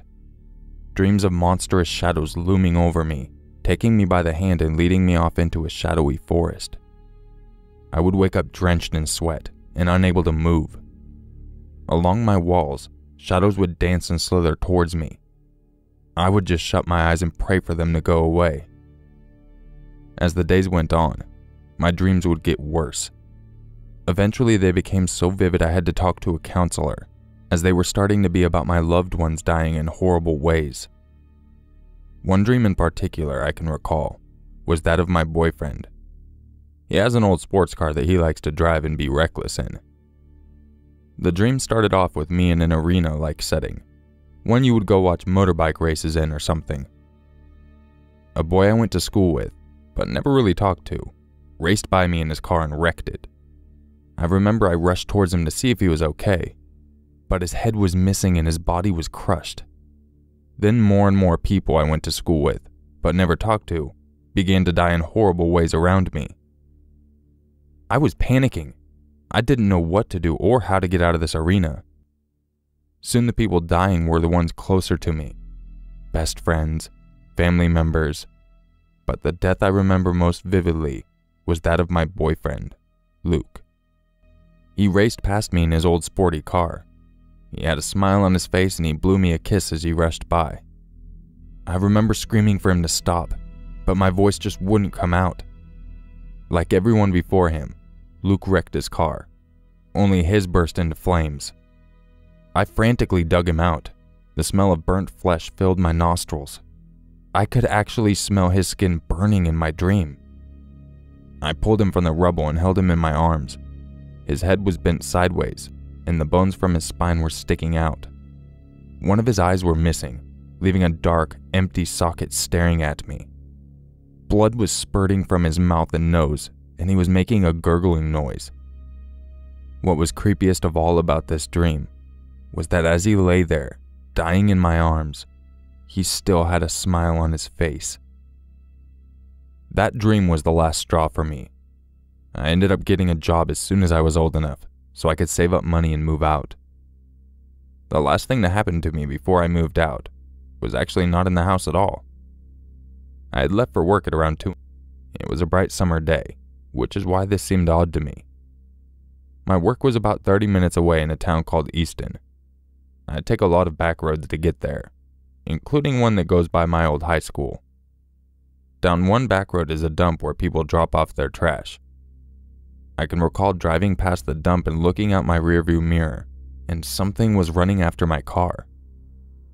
I assumed it was a jogger, as they are not an uncommon sight around where I live. But something was different about this figure.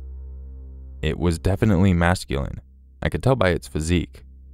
However, it was almost keeping up with the speed of my car. I glanced at my speedometer just to make sure I wasn't driving slow. I was going almost 50 miles an hour, and this thing was practically right behind me, running on two legs. It was then that I noticed it had no features no face, no clothing lines, nothing. It was just a black figure, almost transparent. I stopped at the stop sign just up the road a little ways, though I was reluctant to. But when I glanced back at the figure, it had just stopped and was standing there at the top of the hill, staring at me. I peeled away as quickly as I could and decided not to tell anyone of this event. On my way home that night, I took the long way back, even though I was dangerously curious to see if it would chase me again. My boyfriend and I have since moved out on our own and no longer live with our parents. We moved into an old apartment complex that was made out of an old church, and I haven't had any strange occurrences since then. My night terrors have stopped, and I haven't seen any more shadowy figures. I still visit my parents often, as they only live about 15 minutes away. My little brother has decided to take over the third floor now, and so far I haven't heard any stories from him. But then again, I never asked.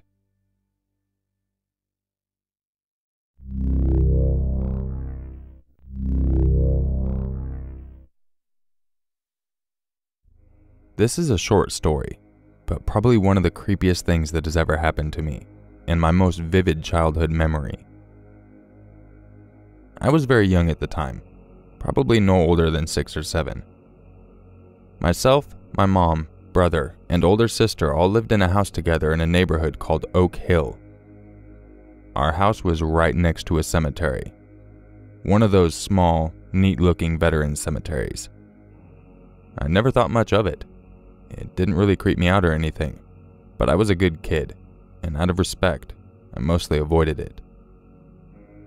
One night I was sleeping on the couch with my mom. My brother, who was roughly the same age as me, was sleeping on the love seat next to us, and my sister, who was in her late teens at the time, was sleeping in her room. My mother and I suddenly awoke to the sound of a loud, horrible pounding on the back door, which was in the kitchen in the next room over.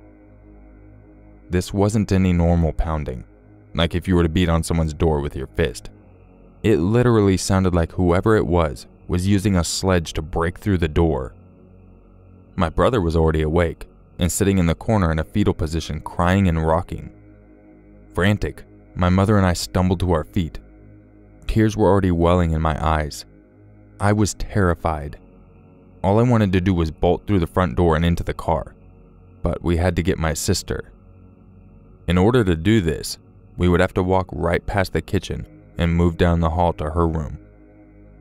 My mother didn't want to leave my brother and I alone in the living room, so we huddled together and began to crawl moving slowly towards the hallway. Thinking back, I don't think we were crawling for any reason other than sheer terror, as we still would have been clearly visible to whoever was trying to get in. We had one of those back doors with skewed windows on it, and the door faced the very hallway that we were trying to crawl through. So, anyway, crawling, we approached the opening along the wall that divides the living room, kitchen, and the hallway leading to my sister's room. At this point, we could hear glass shattering and raining onto the ground clear as day. Slowly, my mom and I began to peer around the corner to look into the kitchen, expecting to see glass everywhere and someone climbing through the window on the door. The kitchen was to our left, and the hall was to our right. Amazingly, though, there was nothing. No glass. The door still intact. And if there was someone out there, we couldn't see them. Still, though, every one or two seconds there was that pounding, and now we knew for certain that it was definitely coming from the door. After probably a moment or two of hesitation, we hurriedly crawled down the hall to my sister's room. As soon as we were in, my mom sat her up and said, We have to leave. Someone's trying to break in. We rushed back down the hallway, into the living room, and straight out of the front door into the car.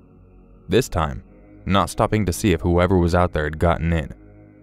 But I remember, for the briefest second as we passed, seeing a figure standing in the middle of our kitchen watching us, out of my peripheral.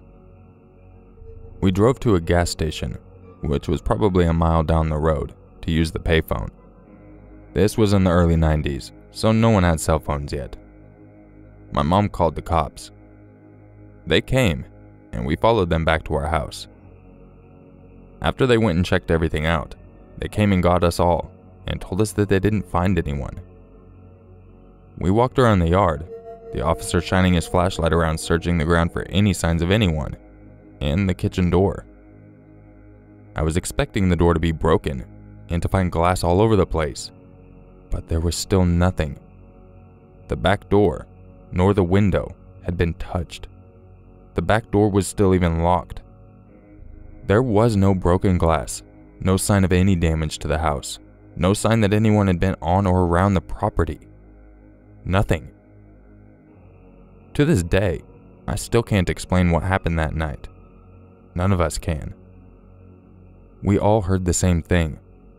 All of us could have swore that at any moment, someone would be coming through the kitchen door. Or at the very least, someone was destroying something on our property. Yet it was as if it was a part of our imagination.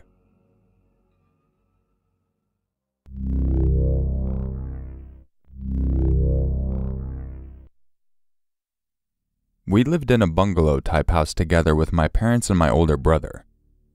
It's a nice house with enough space for the four of us, and it's located in a quiet neighborhood. Yet, something seems odd in our lovely house.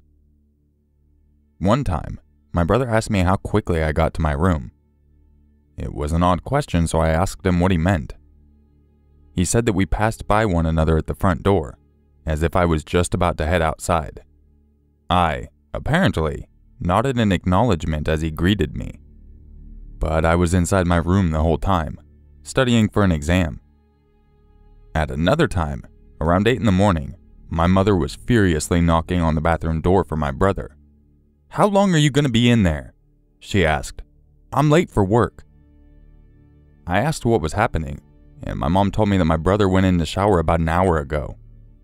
Just then, my brother came out of his room with messy hair and just in his boxers. What's going on? he asked. Clearly, my brother had just woken up. My mom and I looked at each other with confusion. After 10 seconds, she snapped out of it and reached for the doorknob. It was locked. My mom then headed back to their room for the key to the bathroom. I can clearly hear the sound of water inside. My brother walked to my side and I quickly filled him in on what was happening. Are you sure it's not Dad in there? I asked jokingly. Your father already left for work, she groans as she started to open the bathroom door. He wanted to get some paperwork done as it was starting to pile. All three of us huddled in front of the door as it opens. There was no one inside, but the shower is still running. This gave us all the creeps, but I am not convinced. After that, these events happened occasionally.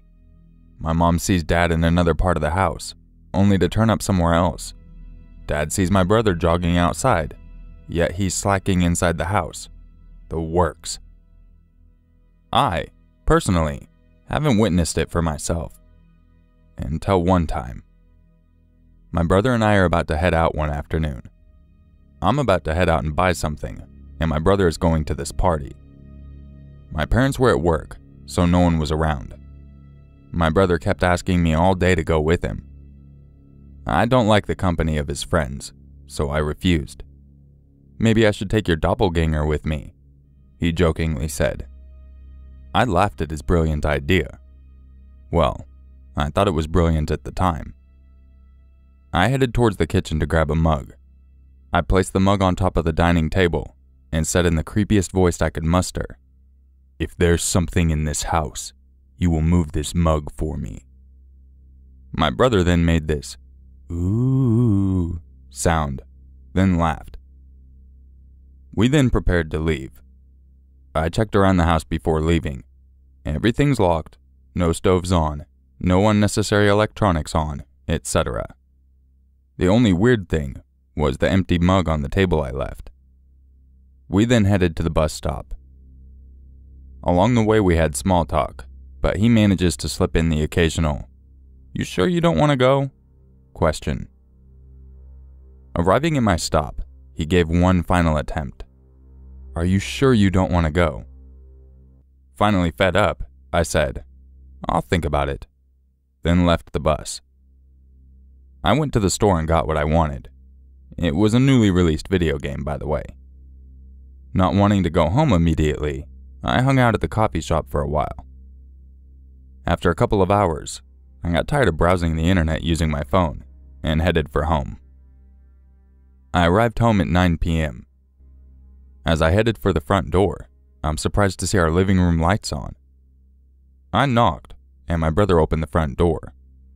Confused, I asked, What happened to the party? It didn't turn out to be what I expected, he begrudgingly said. I got bored and left. He then proceeded to sit on the couch and turn the TV on. I sighed, then headed to my room. I passed by our dining room table and noticed the mug I placed earlier. I chuckled as I reached for the mug and turned my head towards my brother. See, there's no such thing as go. I stopped. The mug was warm.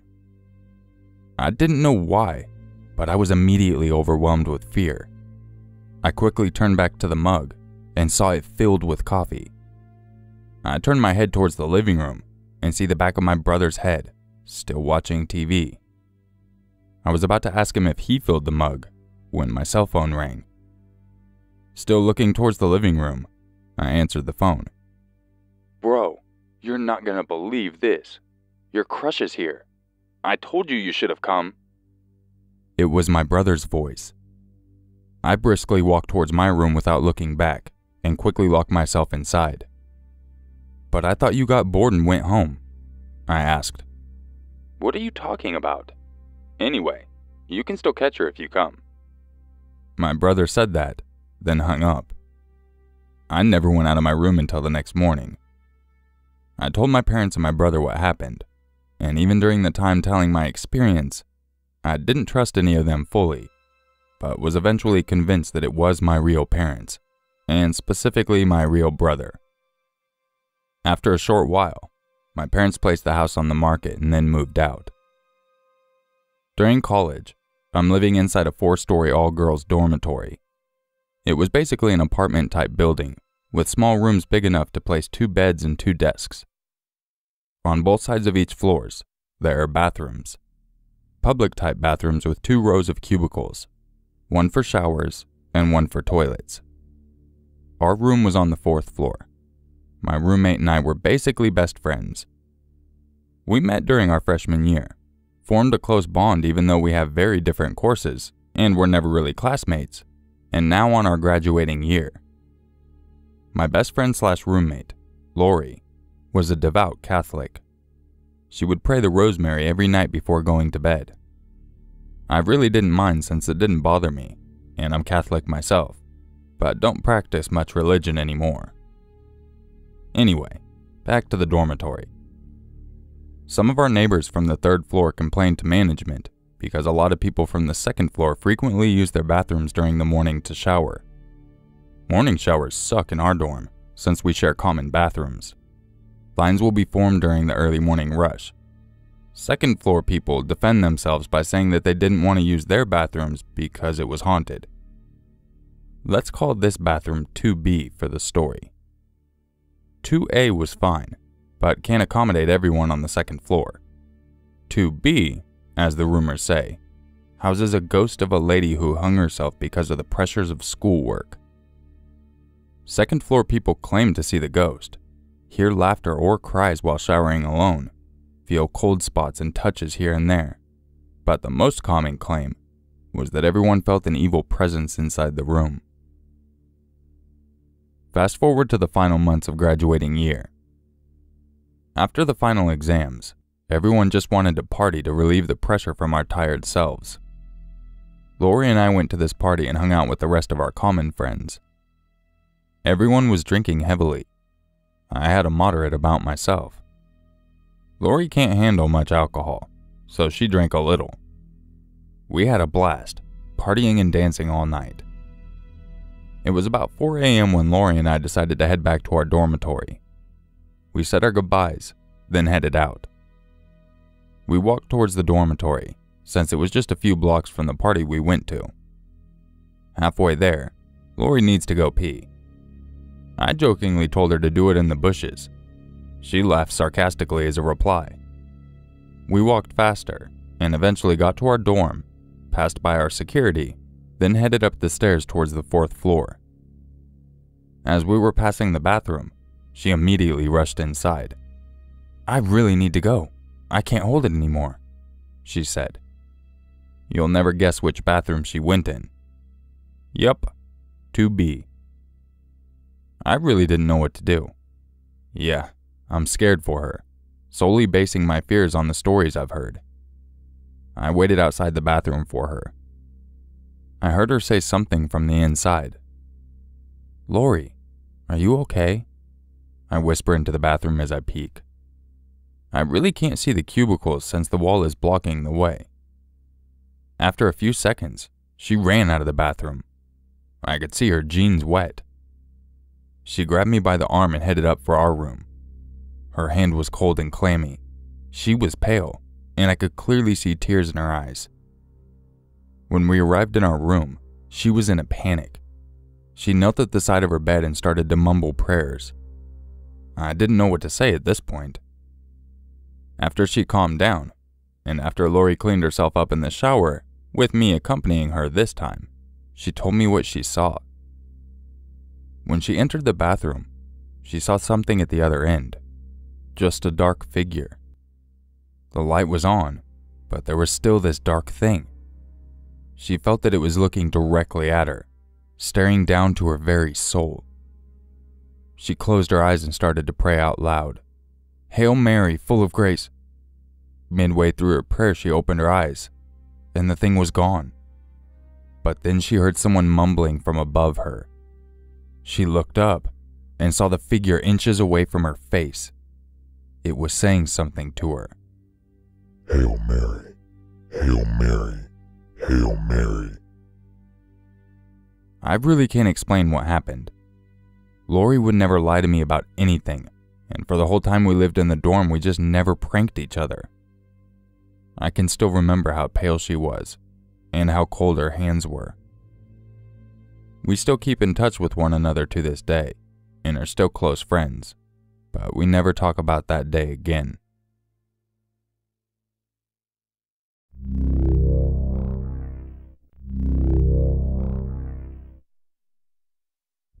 I was about six years old when my grandmother was diagnosed with having lung cancer. So, we drove from Texas all the way to Villisca, Iowa.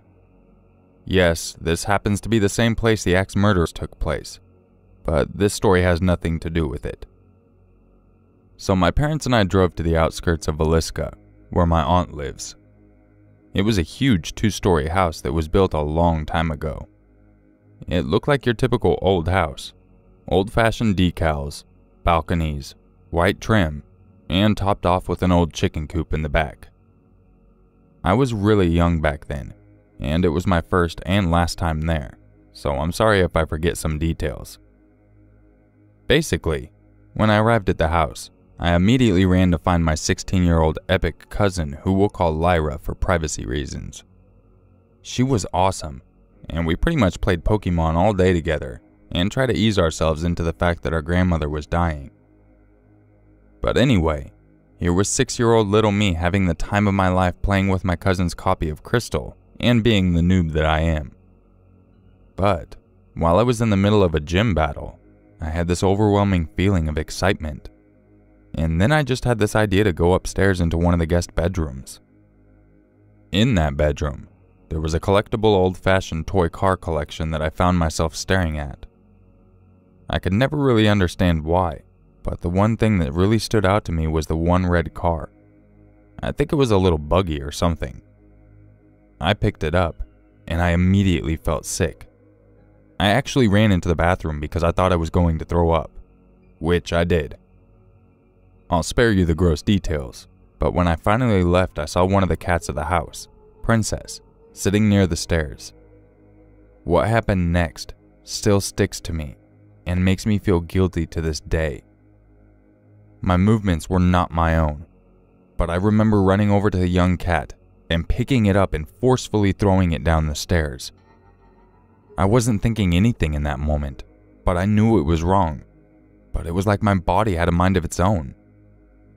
After that, I kinda snapped out of this violent state. And, if you're wondering, the cat is totally fine. No broken bones. I ran downstairs and went back to playing my game. But I felt so sick and guilty that I started crying at one point. Then, an old lady came behind me.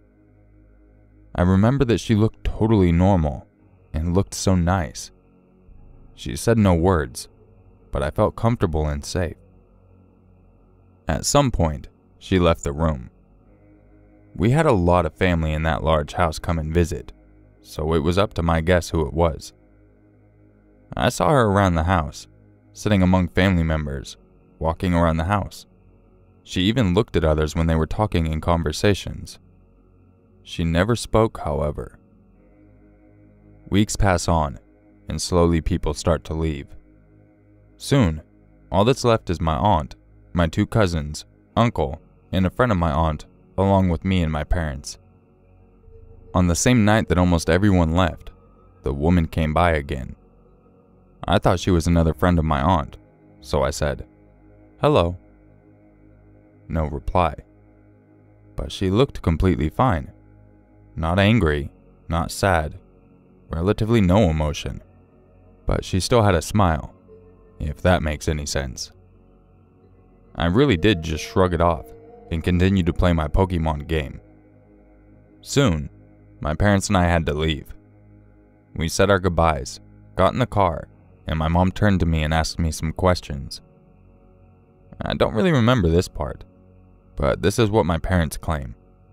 My mom, being corny and all with a six year old, asks, Did you say goodbye to Aunt Jane? I nodded. Did you say goodbye to your uncle? Nodded again. Did you say goodbye to your cousins? I nodded again. After a while, I ask, But mom, what about the old lady? She looks at me. What old lady? I'm getting a bit agitated at this point. How could you forget the nice old lady that always sat next to you? I think she liked you. It's mean to ignore people. Turns out there was no old person at the house. The only old person was my grandmother, but she was in the hospital and bared no resemblance. My mom said she would never take me to that house again. And we never did go back. My aunt even sold the house and now lives down the street from the axe murder house. Quite a funny coincidence, but nothing strange has ever happened. And I never saw the strange old lady ever again. But recently, while sitting and watching TV, I had what I suppose you will call a revelation of sorts. I remember that in the same room with the cars, I saw an old lady standing outside on the balcony. I remember what she looked like again old gray hair tied in a bun, some old tattered pink dress, and brown shoes. Before, I could only recall her face. It was an old house, so naturally it has some history. But the question that still bothers me is what hellish thing happened in there to cause a ghost to haunt that house?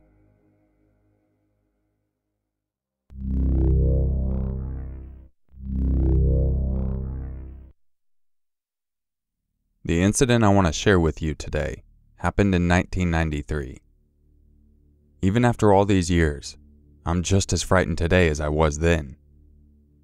I have never publicly spoke about this or written about this for the fear of my safety.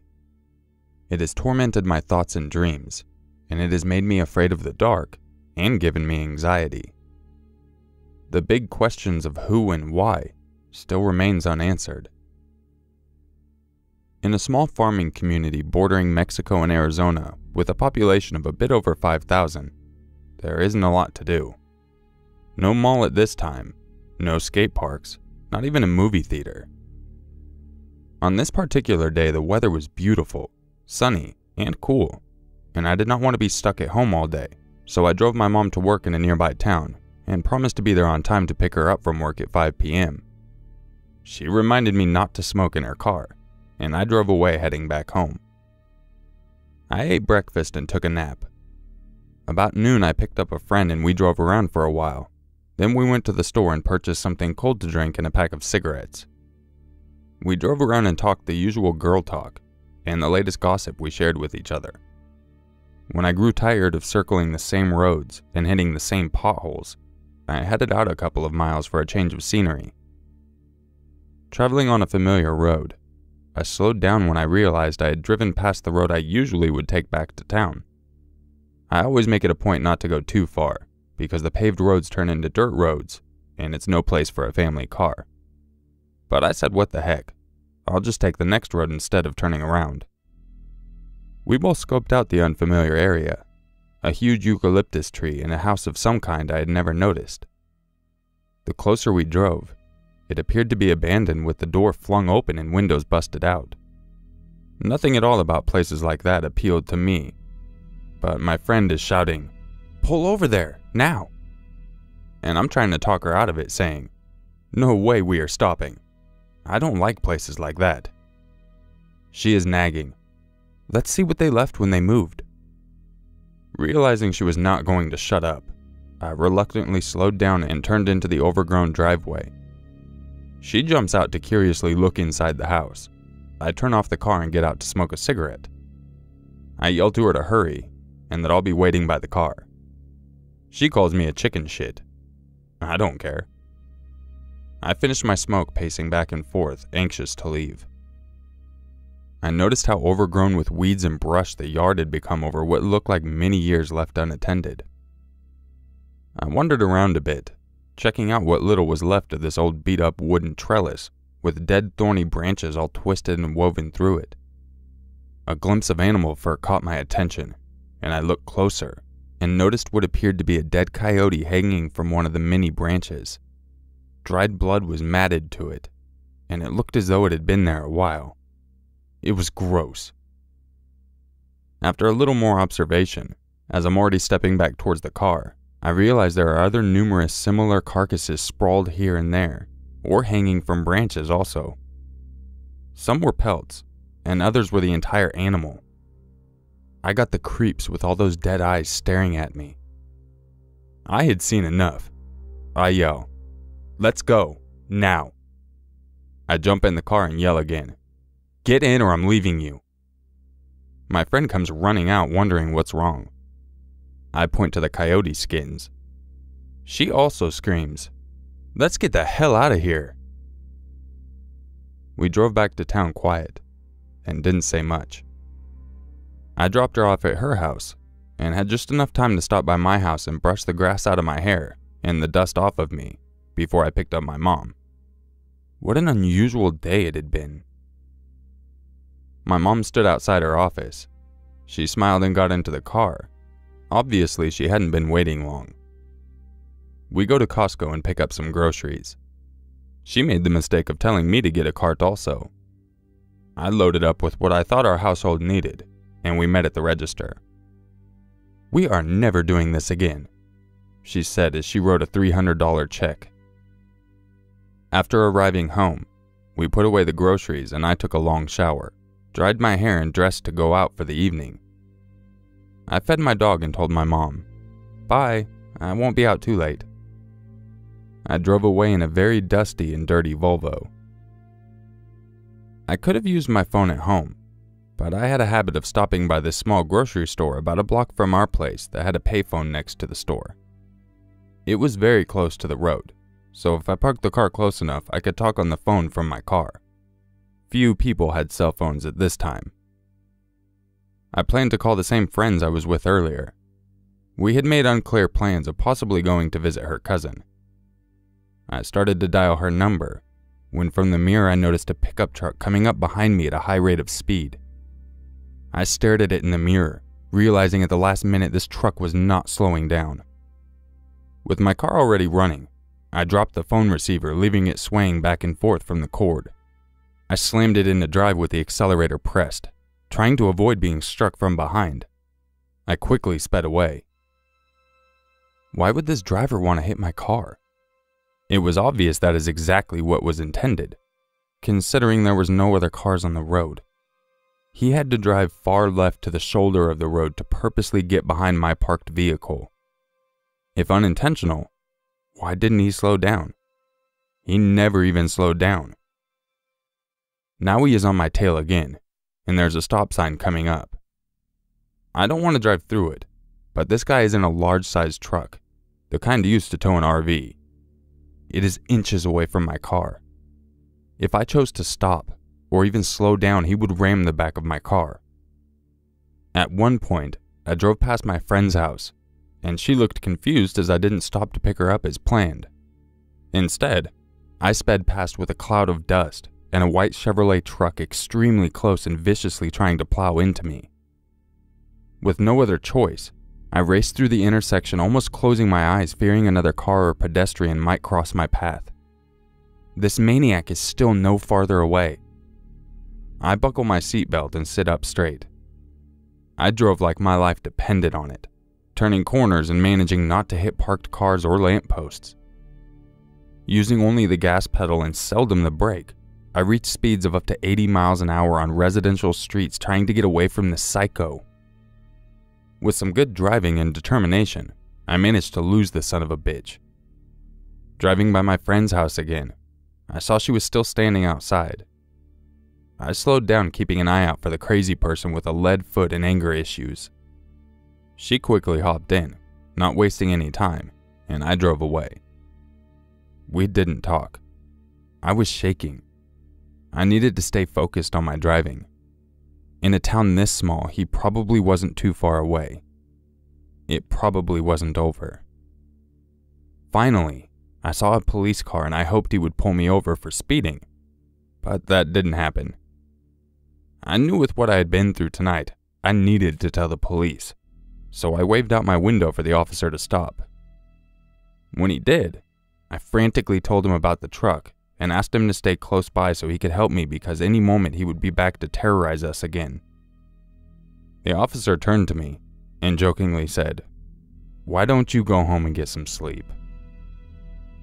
I slowly drove away feeling tired, helpless, and now teary eyed wishing I could do just that go home and sleep.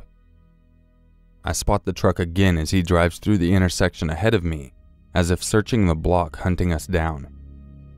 I hear his engine roar as it gains speed, heading towards us again. I start to cry, thinking that this night's getting worse and worse, and about what the cop said. My friend says, Stay strong and just drive like you did earlier. I took a deep breath and gained some much needed confidence. My car was still running strong and not getting hot, so I knew that I could do this. I drove around for what seemed like hours. I knew I could probably lose him if I headed out of town where I could drive faster, but I was afraid that if he managed to run us off the road, he would kill us. Then, out of nowhere, it appeared to perhaps be over, as this angry driver chose to turn off and disappear out of town. Still watching cautiously, I saw it was safe to finally unclench my hands from the steering wheel and slow down to a safe speed. We drove to my house, quickly got out and ran inside where it was safe. Even though it was late, my mom was waiting for me, immediately asking me what kind of trouble I had gotten myself into. I wanted to tell her about the danger I was in tonight, but I was too physically and mentally exhausted. I just sat there breathing heavy with a very serious, but also fearful tone, my mother insists I go outside and look at my father's car. I tiptoe carefully outside to the driveway. Stretched out on the hood of my dad's car was a taxidermy quality black coyote staring back at me.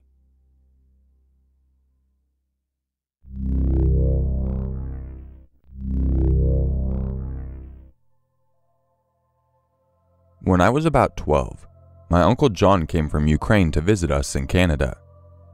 He had a lot of stories, but this was the one that stood out. It was the late 1960s. John was traveling by train from his village to another to visit family. He had to change trains at one point and was dropped off at what amounted to a platform and a hut in the middle of nowhere. There was no one else at this station, and other than a dirt road that led off into the surrounding woods, there was nothing there. He waited for some time, but no train came. It was winter and getting colder and darker, and just about the time he started worrying about a place to stay and some food to eat, an old woman appeared out of the twilight. She asked if he was waiting for such and such a train, and when he said he was, she said it wouldn't be long until the following day. She asked if he needed a bed for the night and offered him a meal and a room at her house, which she said was about an hour's walk from the station. Lodging with locals was more or less the standard when traveling in this part of the USSR, and Great Uncle John wasn't looking forward to a hungry night on a cold platform, so he accepted her offer. He took his suitcase, and they set off together down the dark road into the forest. It was more than an hour away, more like two, and by the time they arrived at the woman's small, two story house, John was tired and hungry.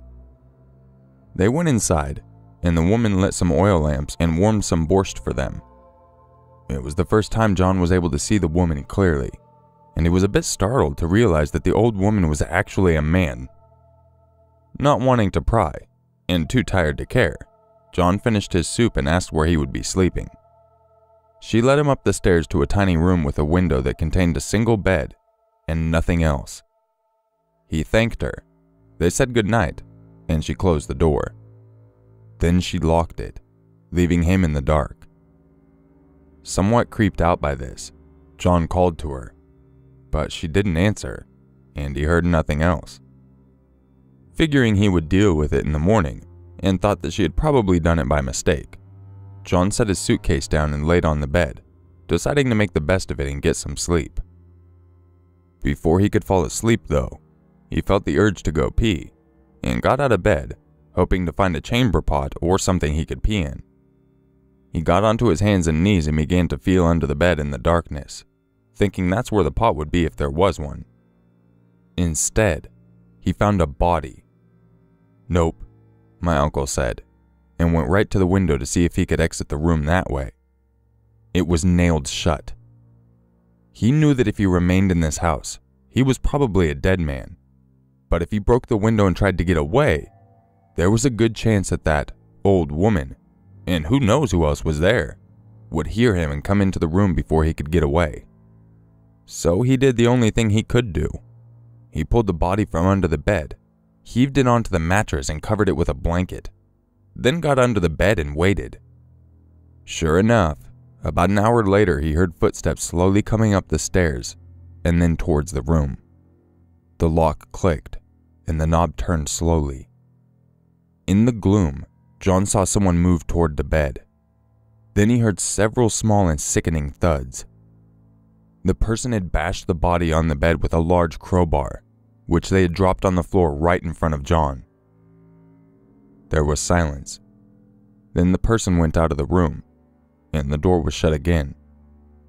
The footsteps went down the stairs, and then they silenced again. John moved from under the bed, took the crowbar, and was able to slowly pry the window open. He didn't say, but I imagine he was shitting bricks the entire time. When the window was up, he threw his suitcase out, then dove through himself, not caring what was below him, only worried about what was behind.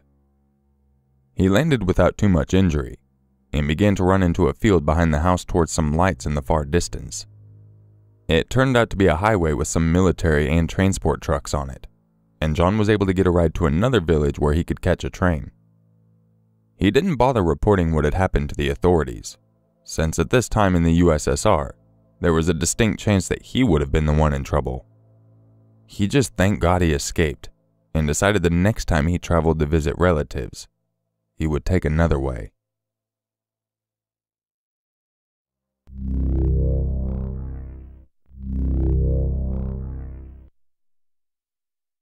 I have always been fascinated with the paranormal and creepy things in general.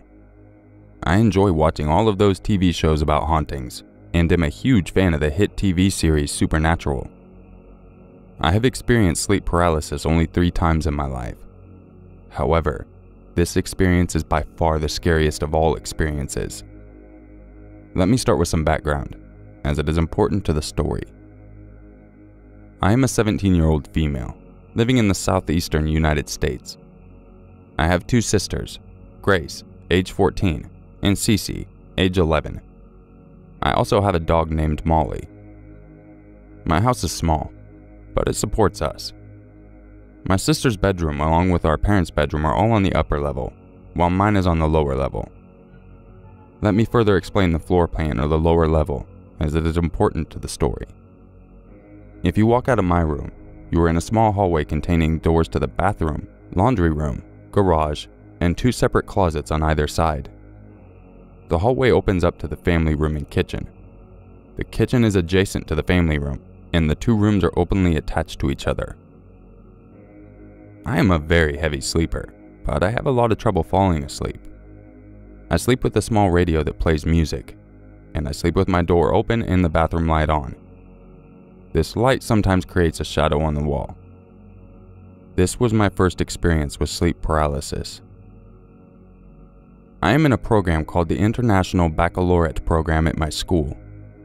The workload from this program causes me to stay awake for long periods of time doing homework and other important things for school. One night, I had stayed up till about 2 a.m. doing homework. I was very tired by the time I had finished my work and was ready to sleep. I turned off my light and walked over to my bed, jumping on it and pulling the covers over my body. I should also probably mention that at the time I was having extremely vivid nightmares and had witnessed horrifying things while asleep. As I fell asleep, I heard my phone buzz, signifying that I had got a text. I checked my phone and saw a text message from a friend of mine, Joe. I have known Joe for five years. He is ex military and he had been kicked out due to emotional trauma from some of the horrific things he had witnessed while deployed in Iraq. As a result, Joe is very overprotective of me. The text said, Be careful. I know those dreams have been bothering you. Love you. This was very alarming, as I hadn't told him anything about the dreams I had been having. I texted him back asking him what the hell he was talking about and how he had known about my dreams. Within 10 minutes, I got a response. You know exactly what I'm talking about, Hannah. It is not like Joe to use my name like that, so this made me more uncomfortable than I already was. My head searched for an explanation. I decided that my overly tired mind was just playing tricks on me, and I went to bed. I slept for about two hours before I was awoken. I don't know what woke me up, but when I did wake up, I had a looming feeling of dread. I sat there for a while, not moving, just staring at the ceiling, thinking. Then something caught my attention out of the corner of my eyes. The kitchen light had flicked on. This is unusual, as I'm the only night owl in the family, and no one ever woke up at this hour. I attempted to turn over to get a better look, but as you probably guessed, I couldn't move. I could only move my eyes, and I was freaking out at this point. I knew that I was experiencing sleep paralysis and was dreading the next moments. If you don't already know, sleep paralysis is often accompanied by terrifying hallucinations. I knew this very well and was dreading their arrival. I look at the end of my bed, expecting to see something creepy there, but there was nothing. I was relieved but still terrified as I still couldn't move. I looked all around my room, but saw nothing. Then, out of the corner of my eye, I saw it. I say it, as I have no idea what it was. Standing in the hallway, there was a black mass, somewhat resembling the shape of a man. The face had no features except two large white eyes, and the body seemed to fuse with the walls and floors around it. I tried to scream, but nothing came out. I sat there staring at it, terrified. It slowly moved closer to me, never breaking eye contact. It seemed to almost float as it moved closer and closer until it was right on top of me. It leaned over and whispered something in my ear that I will never forget. You should tell your sisters to be more careful, Hannah. My eyes widened and I yelled back, Get the hell away from my sisters! It stood there staring. Then, out of nowhere, laughter erupted from all sides. This was no ordinary laugh. No, this laugh, this laugh was pure evil. At this point, I was scared shitless. Why my sisters? Where are they? Are they okay? Are they dead? Am I going to die? Questions like this passed through my mind as I was laying there with this thing staring at me, laughter blasting in my ears. Then, as fast as it had started, everything stopped. I could move. I got up and ran into the kitchen where the light had flickered before. However, before I could get into the kitchen, I tripped over one of the tables and hit my head on the corner. I fell on the floor, my head bleeding from a small cut on my forehead. I got up and ran into the kitchen, ignoring the throbbing pain coming from my head. What I saw, I will never forget. My sisters were both sitting on the floor in the corner of the kitchen. They were huddled together, holding each other, shaking. There was blood all over the kitchen floor where they sat. I knelt down and asked, Grace, Cece, what are you doing here? What's wrong? The second I spoke, they both turned to look at me, and the look in their eyes was pure unconditional fear. Their faces were covered in blood. Neither of them responded to my question, but Cece lifted her finger, pointing at something behind me. Terrified, I turned around, and there was the black mass I had seen before. He started laughing again, and I screamed. Then, I woke up. I sat up in bed, tears dripping down my face, my body covered in cold sweat. I looked at the clock, and it was about 5 a.m. I did not go back to sleep and just sat in my bed. After what seemed like hours, morning finally came, and I walked into the bathroom and looked in the mirror. And to my horror, I saw a small gash on my head where I had hit the table in my dream. Blood had dripped down my face and encrusted on my forehead. I cleaned the wound and tried my best to hide it from my parents and my sisters. I never told anyone about this, and the scar is fully healed. However, I looked at my messages with Joe, wanting to confirm that I had texted him that night. None of the text messages were there. I have no explanation for the events of that night, and nothing paranormal had ever happened in my house before this experience. I had two other instances of sleep paralysis after this, but neither of them were as vivid or as terrifying. If anyone has any idea about what happened to me, please feel free to let me know.